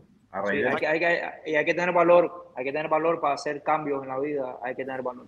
Exacto, por eso te digo que es complicado ¿no? y no, no debemos cuestionar a nadie por sus decisiones, porque en definitiva si, si no es justo cuestionar a los que se quedan, sean una delegación, una lancha o un avión, la en la vía que puedan encontrar, creo que también hay que respetar a los que deciden quedarse en Cuba porque nadie sabe cuáles son las interioridades y las situaciones de cada quien. Y, y eso es bien, eso es bien delicado. Creo que, repito, es, es, la autodeterminación de cada cual. Lo que sí pienso que en definitiva, desde el punto de vista deportivo, repito, Grandes Ligas como Hollywood. Usted puede ser el mejor actor o un actor eh, formidable en Francia, España, que son dos, dos países con un, una escuela de cine y con una historia, una tradición en cine espectacular. Pero muchos de esos grandes actores terminan en Hollywood. Eh, es que esa, esa, es la. Pero bueno, yo creo que lo que es el caso de Moinelo y, el otro muchacho, ya yo creo que esa, no se van a ir, yo creo. Sí, yo te puedo asegurar que no se van a ir. Porque... Es difícil, es difícil. Ya, ya, han tenido oportunidades miles. Ya yo creo bueno, que no. Pero bueno, nunca digamos nunca, ¿no? Nunca digamos nunca. No sabemos no. cuáles son los planes. Los que no van a ser los glaciales de España, eso sí, no. Yo no, decía, pero es que también otra edad. Yo, yo decía, yo decía que, me, que, nunca me iba a ir, pero a la Mira, otra semana me fui. No, lo que, lo que, lo que pasa es que Raider podía, es decir, con contrato ahora con los japoneses es difícil escaparse de Japón. Japón no le va a pasar de nuevo lo, lo que le sucedió con Colá. Andy, Andy Rodríguez también se fue con contrato. Con Andy también, ahora eso. Eh, eh, ellos, ellos se van a brindar para, que no, para que no le ocurra más. Así el muchacho Colá, mira, Colá, no, no ha podido firmar todavía y tiene tiempo ya. Así mismo. Tiempo. Tuvo mala suerte también con la pandemia. A él le tocó también no, también las agencias libres, esas cosas, a veces le moran a otros más que. Mira, la idea de eh, Chapellí ya es agente libre. Mira qué rápido. Sí. Ni siquiera ha hecho un trabajo, estoy seguro. Y era agente libre. Yo me cansé de hacer trabajo de palabrearme con miles de equipos. Y la agencia libre se me metió casi, como quien dice, un año. Exacto. Eh, todo el mundo tiene su, su historia. Bueno, eh, meses, cuatro, tres, tres, meses, Chapellí, ¿no? En tres meses, tres, cuatro meses. Menos, menos de tres meses. Menos. Pero bueno, eso es bueno, eso es bueno. De los que han escrito últimamente, dice que, por ejemplo, y ve Antonio Arroyo, no es lo mismo los millones de Japón que los de MLB, ni el nivel tampoco. Eh, Freddy dice que Moinelo fácil jugar en Grandes Ligas. Néstor Pino, esta noche quiero decir que el 28 será MLB en el, en el 2022. Eh, el Blanco todavía se pueden ir. Mira, Lázaro Blanco se fue veterano. No, una cosa es irse y otra cosa es jugar Grandes Ligas. Me refiero a irse para jugar Grandes Ligas. Lázaro Blanco se quedó en Estados Unidos no para jugar Grandes Ligas. Se quedó porque por una cuestión ya de, de, su vida, que quiere hacer su vida en los Estados Unidos, por una cuestión de economía y demás, eh, o lo que sea, lo que haya llevado, pero no por una eh, cuestión que tiene que ver con llegar a Grandes Ligas. Por algo elemental le da y de Spaine y Gracial la misma historia. De Spaine no creo, de Spaine tiene un nivel de vida eh, por encima de, de, de, prácticamente todos los deportistas en Cuba. Y en realidad no, Spaine... De, de, todos los deportistas y de... no, sí, de entra, de Spaine hay otros niveles. De Spaine hay otros niveles. De aquí, mejor que Sí, sí, sí. De es con- Pito y, y Juliet, que ya más nadie vive mejor que... Eh, No, tú. y Gracial Iván- sí no lo va a hacer, Gracial es militar, así que... No, dice Andy está- dice Andy Bañez que, que pregúntale cuántas líneas le di. Coño, Andy, Sereño, caballo, caballo. Qué, qué, qué, qué orgullo era cuando me subieron a Grandes Ligas, Sereño. Yo jugué con el Triple A ahora ahí, lo vi hacer, eh. Qué orgullo. Andy es un, un, un ejemplo a seguir, a nunca rendirse, igual que Darío Núñez. También, mira a Andy hacer matando todos los años la Triple A. Con Andy tengo yo muchas anécdotas de verdad de corazón. Eh, hicimos equipos Cuba, juveniles, eh, un caballo, un caballo. Y como hombre, inmejorable. De verdad, sigue así grande, de verdad, coño. Para ver si En te esto- también tus, tus millones. También. Antes, antes que empiece la próxima temporada, tenemos a Andy previsto para que esté con, el, con nosotros aquí en el show. Yo, yo lo pude entrevistar en Texas cuando estaba en su primera parte ahí de, de su debut esta temporada. O sea, y, y realmente que es una de las personas de los peloteros, te lo voy a decir, bueno, él está ahora conectado, más decente, más respetuoso Oh. que yo he conocido. Ese muchacho es de oro. Y no solo porque sea religioso, no solo porque sea cristiano y que, bueno, la enseñanza cristiana y demás, es que, eh, vaya, yo me quedé frío por, por lo- lo- los modales de, de Andy Bañez. De verdad que, que es algo que, que es para, Ah. para, para mirar de todo corazón. Se lo digo. Andy es una dama, Andy es una dama, Andy es una dama. Yo, nosotros siempre le halagamos mucho la boca y eso, tiene una boca a eso, en el chat eso, eh, Andy, Andy, eso, eso es respuesta a, que tú lo estabas molestando con, con el recuerdo de la línea. Nosotros no, Andy es un tipo coso y del grupo, es de grupo, de equipo. Y nosotros lo jodíamos cantidad. Andy es el año de juventud que esto Mendoza gente guajira, eh, bien, de bien de verdad. Esta, esta próxima temporada debe ser una campaña de consagración para Andy, que oh. ya demostró, ya demostró las habilidades que tiene. De hecho, yo conversaba con un gran scout, el Gaeo, y me decía, lo bueno que tiene Andy es que Andy es un hombre que no es que le va todas las bolas a las bolas, o sea, es un hombre que hace mucho contacto con la bola y eso en el béisbol de Grandes Ligas hoy por hoy es muy importante. El hacer contacto con la bola, bueno, en el de hoy en el de siempre, porque es la, tienes más posibilidades de envasarse, tiene más posibilidad de dar un batazo. Y es un hombre también que ha ido evolucionando en cuanto al poder. No es un gran jorronero, ni mucho menos, pero precisamente el chocar mucho con la bola, el tener una buena capacidad de selección, de discriminación de lanzamiento y, repito, hacer contacto con la bola, evitar los ponches, eso es algo que, te favorece mucho. Y yo creo que esta temporada, repito, va a ser temporada de consagración eh, para Andy Ibaña. Además, la presencia con Adol y esas cosas son muy, muy, eh, contribuyen. O sea, el tener un compañero ahí, de, darte consejos, de, ahí, de estar cada cual en su, en sus aspectos de, digamos, negativos y, positivos y ayudarse mutuamente, yo creo que es fundamental. Así que Dios quiera que, que, sea así y que los Rangers de Texas, que se están armando, por cierto, puedan tener en él un gran protagonista el próximo año 2022. Andy era temido en Triple A, Temido. Le pichó Luis Romero, le pichó a ella, me dijo, no, no sé ni por dónde tirarle ya. Metí una caña para el medio, cara. Ah, lo no le piché, no le piché. Bueno, mi gente, eh, por mi parte todo, todo está bien. En realidad, todavía, quiero decirle que, ah, no sé si lo comentaron al principio, el inicio, inicio de la entrevista no, no la vi, pero al principio había preocupación, no, porque me decían por acá, bueno, Edgar, Horizondo, producción, oye, eh, no, no, Luis nos responde al teléfono y no le escribimos, no, ya son las ocho y media, ¿qué vamos a hacer? Yo le digo, vamos a esperar, vamos a darle un tiempo. Si quiere, empezamos el programa a las nueve para darle chance, a lo mejor está, todavía no ha llegado a la calle, entonces después me escribe, no, oye, el problema es que es una hora de, diferencia. no, estaba confundido, estaba confundido que me había cuadrado.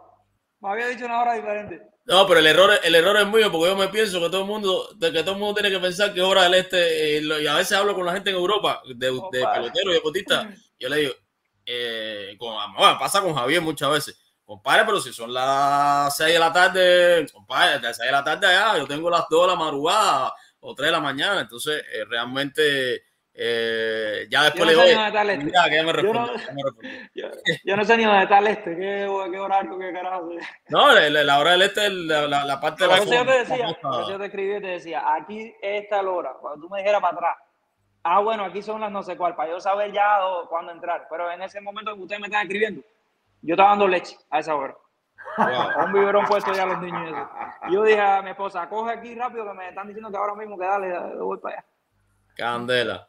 No, tremendo placer de verdad para nosotros, por lo menos para mí, yo sé que el, sentimiento es mutuo con, bueno, con Javier y con Edgar y con el resto de, los que se han conectado, los ciento y pico que se han conectado entre Facebook y YouTube, que han dado like. Nos hubieran gustado más like todavía, pero bueno, eh, a veces se ponen un poco bajos nuestros seguidores, eh, escriben más en el chat que, lo que, los likes que dan en el, en el hay que hablar más chisme, hay que, hay que hablar con más chisme, o más de Otaol y eso, que hablar chisme. a que se conecte más la gente y saben cuándo le gusta el chisme. No, pero, han, salido muy buenas historias que se agradecen escuchar. ¿Cómo no? Y que no van a ser las últimas, porque ya te dijimos, a lo mejor el día que esté Andy Baño te decimos, oye, entra un momentico para para hablar un poco de, algunas historias esas uh, cómicas interesantes. le doy cuero y lo cojo, lo mato. ya, yo ahora yo jodí a toda esa gente, son mayores que yo, son mayores que yo. Pero yo lo dejo, muchachos. No estamos tan mal en los likes, 117 likes en YouTube. Eh, Estamos bien. Está, bien, está bien. El placer fue mío. El placer fue mío, de verdad, de corazón. Me, me uní un poquito más ahí a, la tierra. Porque para acá, para Houston, yo sí estoy solo. Aquí no vive nadie. Bueno, te estaban invitando, espérate, varias gente te está invitando a comer. mira, ya tenés invitación a comer tamales, tamales criollos, no tamales, eso, dulzones que dice eh, siempre. Eh, también tiene una invitación, creo que a, a comer sushi, no sé, por ahí vi algo de eso, así que ya unos cuantos ahí que, con, que, que se, te, se, te, van a convertir en medio que vecinos, medio que visitantes o, o anfitriones. Ah por allá para que no, para que no te sientas tan, tan triste, tan lejos de, de nosotros los cubanos. Así que, por además, por, por además estás motivado porque dijiste que era buen cocinero. Así que la gente dice, no, bueno, no, no, te toca, te toca a ti. También. Me tomaron, me tomaron la cocina. Oye, caballero, el placer fue mío, de verdad, de corazón. Fue mío. Eh, bueno, eh, mucha suerte, mi hermano. Eh, te voy a buscar, te voy, así la próxima vez que te entreviste voy a decirte, mira, te vinta juego, te vinta juego, te vinta juego, para tener más así, porque solo estaba mirando el número y ver el número a veces frío. Eh, ver, ver, estadísticas muy frío. No, te va veces. a gustar. Te va a gustar de verdad, porque hay veces es lo que tú dices. Los números son fríos. Como tú ves un trabajo con calidad. Mira, creo, creo, creo que eh, estimulante para ti va, va a ser eh, cuando tengas un tiempo, ¿eh? que pongas en YouTube, busques la, busques la entrevista tuya y empieces a leer todo lo que te dice la gente en el chat. Es decir, has tenido la oportunidad de ir viendo más o menos ahí salteado. Sí, he visto, he visto. Busca, busca eh, los comentarios que están ahí eh, en, en, al, al, unísono que va ocurriendo la, la entrevista y te, te, van saliendo para que tú veas los deseos de todo el mundo hacia ti para, para el 2022. Eh, ahora mismo leía, leía Ernesto Pino, decía, dale enoje, dale ah, enoje, que tú, que tú no, que, Sí, ah, sí, sí. Fue el primero. Que el hijo jugó conmigo pelota ese caballo. Y el hijo juega así. Sí, sí juega. Eh, jugó, no, en España, jugó, la, jugó, en España, jugó en España el año Era pasado. uno de los mejores prospectos que había en Camagüey en las categorías inferiores. Lo que no, se puede hizo... rápido de Cuba. Ernesto Pino, el, Ernesto Pino jugó con España, el europeo. Sí, no, no. Es un fenómeno y tira 90 y pico mil igual. Y uh -huh. pero la familia. Oh, Ernesto, muy amigos de mi familia. Bueno, no, Pino, Pino fue, buena, pri fue el primero en entrar hoy. Estaba de la, desde, las, desde las 8 de la noche. Estaba ahí de, de sí, primero en, no, en, el chat. Él me sigue mucho, sí. Y yo al hijo también lo sigo mucho, de verdad. Pues nada, mañana si tienes tiempo, si los niños te dan oportunidad, eh, lee para que, para que te estimule eh, para el 2022 y siga con esa misma fuerza eh, trabajando y, y, apostando por tu futuro. Y, y ojalá, ojalá que, que todo no, vaya gracias. mucho mejor en 2022, no, Luis Ruiz. Gracias, gracias, gracias. Lo voy a hacer, voy a revisar la, la entrevista. A ver en dónde hablé ahí más o menos. Ay, hermano, todo, todo, ha sido, todo ha sido muy bueno, todo ha sido muy bueno. Muchísimas gracias. Gracias, compadre, gracias. Un abrazo y éxito a todos ustedes, al canal y a todos los peloteros cubanos. Lo mejor siempre. Saludos sí. para la familia. Saludos, hermano. Gracias. Chao. Suerte. Salud. Oye, Javier, te preguntaba ahí alguien que a qué hora tú terminas los shows. Hora de, bueno, no del este, hora de. hora de España, son las cinco y media de la mañana. Aquí son las una y media, pero comparado con Javier estoy bien. bueno, pero. Comparado con Javier estoy empezando la noche. Yo le voy a decir una cosa. Eh, Javier tiene un entrenamiento más que grande y gigantesco, colosal, diría yo con el tema de las madrugadas. Javier durante años se estuvo despertando para hacer el programa de la COCO Amanecer Deportivo. Yo creo que más de 10 años. De, de 10 años. Y esta gente, ¿cómo eh, puede? Porque yo, a mí me cuesta trabajo levantarme eh, de madrugada, o sea, madrugar. Yo soy más malo con eso. Y yo decía, ¿cómo esta gente, esta gente somos los locos? ¿Tú sabes lo que es todos los días, de lunes a viernes? No, de lunes a sábado. De lunes a Levantarse a las 2 y pico de la mañana, a veces antes, en, en dependencia de donde vivieran fajarse con una guagua, la confronta de no sé cuál, cualquiera, de, de, repito, dependencia de que, bueno, después Javier se, Javier se urbanizó más, llegó al cuando sí. Radio Progreso ahí, que estaba, podía ir estaba cerquita, no, pero, pero, hubo un tiempo que estaba en San Agustín, eh, San Agustín tenía que venir de, hasta, hasta el Vedado para, para, entrar a las 5 de la mañana. Exactamente, ah, y esta eso... gente se metían tres horas de programa, que era esa hora de llegar, ponte a sacar las noticias, porque no es que preparar las noticias el día antes, tú tenías que actualizar las cosas más recientes en materia deportiva. Y tú sabes cuánto pagaba, cuánto dinero pagaba Amanecer Deportivo. 18 pesos a las dos primeras voces y 12 a la, las voces 3 y 4. ¿Cuántos días a la semana? que levantarte madrugada por 12 pesos cubanos, mi hermano?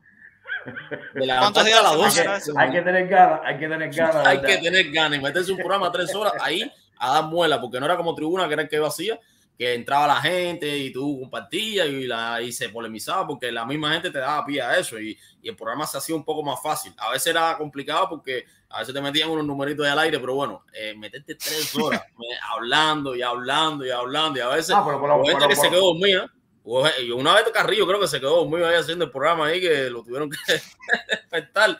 Dormió hablando. Imagínate que tú estés hablando. Hay, historia, hay historia que con amanecer hay un montón de historias de ese tipo. Uf, un montón. Así que tiene entrenamiento de sobra para aguantar unos cuantos shows todavía más ahí hasta la madrugada. Pues nada, ha sido, ha sido una, una, una, excelente oportunidad de, poder conversar con nosotros. De verdad que me sorprendió, José Luis. A mí también. Eh, la sinceridad, la humildad. Eh, y, un crack, un crack, así mismo, Vamos a adelantar que toda la semana próxima vamos a tener invitados, o sea, lunes, miércoles y viernes, ya los invitados van a ser eh, Made in Miami, o sea, yo directamente en los lugares de los invitados, lo casi 100% seguro. El lunes, ya lunes, miércoles y viernes, te repito, tenemos invitados eh, garantizados. Y quizás, esto no está confirmado todavía, eh, está en dependencia de, de, lo que suceda durante el transcurso de estos días, pero quizás el jueves también tengamos una sorpresa combinada con Chica Swing, con el show Vamos a ver cómo se da todo. Eh, no quiero adelantar mucho para que me coño, nos dejaste con las ganas de hacer y no sé qué. No, no, no. No, no, que ya, ya, ya, ya la gente estaba pidiendo en el chat, eh, bueno, Pablo Abreu, ¿cuándo va a estar? No, Pablo va a estar, va, va a estar, va a estar estos días. Eh, lo que pasa es que tenemos una visita pendiente ahí el próximo jueves ahí que, que, puede ser muy interesante. Pero sí, Pablo va a estar. Pablo, si no está ahora, porque vamos a hacer cosas a lo mejor grabadas también de encuentros de él con algunos peloteros aquí en Miami la, haríamos después cuando regrese para Italia. O sea, va a estar de una u otra forma, pero va a estar Pablo Miguel Abreu. Repito, si no está en vivo es porque querramos que vamos a aprovechar algunas otras visitas eh, con personas, digamos, mayores de edad. Tengo que aprovechar mi estancia aquí, pues no, porque ya, ya ahora eh, viviendo en Connecticut es más complicado. Pero, pero realmente sí vamos a, buscar la forma de que, de que estén una buena cantidad todos estos días y que y aprovechar bien el tiempo, repito. Incluso les voy a decir una cosa, esto es un adelanto esto es un adelanto. Me pregunta Eliezer por la vida de Iván Alonso. Iván eh, está bastante bien de salud. En estos días vamos a tener video de Iván aquí en el canal. Eh, el adelanto es que lo más probable es que a partir de, muy poco tiempo, los sábados o los domingos tengamos una, una, emisión especial de show para los peloteros que viven en Europa. Porque ¿qué sucede? Que se hace muy difícil, bueno, muy difícil, no prácticamente imposible entrevistar en vivo a los cubanos que están en Europa por la diferencia de hora, que trabajan al otro día, a veces tienen eh, una jornada de trabajo fuerte y entonces desde el del carajo le pues madrugar precisamente. Entonces eh, el domingo o el sábado podemos hacer el show más temprano, un show no, una emisión especial, 6 de la tarde, 5 de la tarde, como mucha gente está en la casa y, no se trabaja por lo general. Y entonces ya, por ejemplo, Fran Montiel va a estar eh, un domingo de este mes de ah. diciembre. Eh, y, lo mismo va a pasar con Peraza, lo mismo va a suceder eh, con Arley Sánchez, Norbert Márquez y otros que están en, en, España. Por cierto, ahí en España, un golfista que se ha convertido en uno de los mejores golfistas profesionales de España y que fue miembro incluso de, la preselección nacional de Cuba, cubano. No voy a adelantar para que, para que lo busquen por ahí los curiosos del chat, pero sí, un, un golfista cubano que se va a enfrentar muy pronto al Duque y al Iván en una, en una competencia internacional, eh, cubanos de España contra cubanos de Estados Unidos. Eh, peloteros golfistas. O sea, ah, ya pensé que le iba a pichar el que decía, pero lo estás matando golfista. pero sí, sí, se ha convertido. Entonces, tenemos unas cuantas entrevistas de, de, cubanos que están en Europa, incluso en Asia, y vamos a tratar de acomodarlo para todo el mundo, para que no se pierda la oportunidad, porque es un crimen no poder utilizar realmente a figuras de cierta manera importantes también, ¿por qué no? Y que la gente pueda porque lo podemos hacer grabado, fíjate, podemos grabar la entrevista y tal, pero pierde un poco de, dinamismo con, el chat, ¿no es lo Entonces, que queremos que, que, las personas también puedan preguntar y entrar y esa parte. Así que nada, eh, son algunos y, entre, y, entre, y entre, las propuestas de la semana que viene, tú que, estás, tú que eres el, el, el director del canal, eh, hay, hay una colaboración nueva para el lunes. ¿Cómo no? Dando la nota. Ah, bueno, sí, exacto. Exacto, bueno, se va a hacer lunes, lunes, lunes y jueves. Lunes y jueves, lunes y jueves. A las dos, a las dos de la tarde. Oye, yo no puedo decir nada aquí que la gente enseguida me, me, a decir me echa para adelante, no, porque es una palabra fuerte. Me, me delata, me, me descarta. Así mismo es, como dice Freddy, Nathaniel Reynoso es el golfista que se ha convertido en una figura relevante dentro de España lo vamos a tener pronto a Michelle Rodríguez López, también ya está coordinada la entrevista. Ojo, Alain Roca también, y porque vamos a expandir a, deportistas que, que, van más allá de Yacer Portuondo, eh, Ray del Puey, eh, Ramón Gato. Estamos, estamos buscando también la manera de, traer deportistas, repito, mm, destacados, Yasmani Copeo, que hablé con él el otro día, que por el tema de la diferencia ahora yo creo que es importante. Y decirle a, a Eliezer que yo entrevisté a Tani Pérez. La entrevista de Tani Pérez va a salir muy pronto en el canal de, de YouTube de su incompleto. Lo entrevisté hace un tiempo y yo creo que vale bien vale la pena. Aunque yo sé, yo me, me, preocupé un poco el otro día, pues, pero Daniel me decía, Porto, es normal, no te aflija en ese sentido. Hay mucha gente que no conoció a Tony, a Tony Oliva, primero por generacionalmente eh, no es la misma época, segunda porque en Cuba no se habló de Tony Oliva y es normal que, que Tony un poco, que la gente se sienta eh, con, con, el aquello de que, bueno, sí, sí, un pelotero que fue bueno, pero como que iba a eso sumar la falta de cultura con el Salón de la Fama. Yo realmente esperé mucho más en cuanto a gente conectada el, miércoles, pero bueno, en función de esto, de, la falta de, cultura de muchos, no estoy hablando de los que están conectados con nosotros ahora, lógicamente, pero sí de muchos, quizás eh, se quedaron un poco, bueno, sí, pero es que no, no como que no, no, no había mucho conocimiento. Y lo de Tani Pérez, Igual, Tani Pérez, cuando tengamos a Tani Pérez ya la entrevista disponible, lista, la vamos a poner, quizás no en el show, porque el show en vivo, pero en otros espacios de, de su incompleto, hay espacios de sobra en su incompleto que tiene muchísimas sorpresas. El año que viene, de hecho, vamos, venimos con canales nuevos, eh, con cada, cada, canal con su estructura, con su, con su temática, o sea, para, para poder abarcar lo más posible dentro de, de, lo que tiene que ver con béisbol y con deporte en sentido general. Y ya, sacado Cabero, que Javier, mira, ya Javier le va a pasar lo mismo que Carrillo, se va a quedar dormido en el sofá y después entonces. Jamás, jamás los jamás. Yo, jamás los jamás. Yo quería decir que, yo, yo bueno, eh, este es mi último show como tal del año. Yo saco vacaciones a partir del lunes. Eh, sí voy a estar en el buzón de sin completo los martes. Sí. Pero el lunes, miércoles y viernes se me, se me complica mucho estar por la noche. Se me debe complicar mucho. Acuérdate ¿Eh? que hay una invitación pendiente en martes, que, que, que, quedamos en algo en martes pasado. Sí, quedamos algo en martes. No, y lo, los peloteros. El problema es que estoy cuadrando con el ruso los peloteros, porque no digo, yo no quiero decir los cinco, di tú, yo dije dos, dije, di tú otros dos y después cinco cuadramos, ¿no? Porque el problema es que si digo los cinco me parece injusto. Entonces yeah. estaba, estaba hablando con él. El, pero bueno, sí, muchas gracias Javier, muchas gracias a él, Jerry. Gracias. Muchas gracias también porque compartí, eh, compartí show con ellos. Yo regreso en enero si me dejan. Me imagino que me dejen. No, no hay problema. No te ha buscado todavía la, la, la, expulsión. No me he buscado la mala con el jefe todavía. En enero regresaría al show. Así que, bueno, la gente, echa gente, muchas gracias. Igual los martes nos estamos viendo. Este martes, acuérdense que que, que estamos con, con, el Buzón y el, el, último martes del año también. Exacto. No sé, el último, el último martes, la, eh, la, última semana hay transmisión también. Por eso tengo preguntarte a ti, pues no sé. Sí, claro, la, claro. Bueno, que yo, yo, todavía no sé ni los días que va a caer 31 y 30, pero de todas formas queremos hacer un show especial, o a lo mejor no un show, pero sí un programa especial donde estén la mayoría de, la, de las personas y puedan entrar. Un show para despedir el año. Eh, feliz Perfecto. 2022, no sé qué.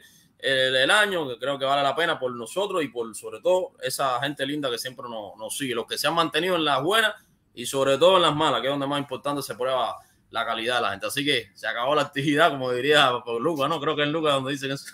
Sí, se acabó la actividad, sí. Bueno, gente, acabó, muchísimas gracias por todo. Eh, ¿Cómo decías? Se acabaron los muñequitos. Se, acabó, se acabaron los muñequitos, así. Así como dice la, la hija de Irma Sola. Oye, pues nada, muchísimas gracias a todos los que han estado en sintonía desde bien temprano. Néstor Pino, que fue primero, ¿eh? y que casi que está cerrando cabrón, junto con nosotros esta, esta emisión de viernes. Gracias, Edgar. Y nos reencontramos el próximo lunes con otro invitado. Ya decía Yacer Porto que, que tiene eh, una colaboración parecida a la de hoy para la jornada de lunes. Gracias a todos, que tengan un buen fin de semana. Muchísimas gracias. De nuevo, chao.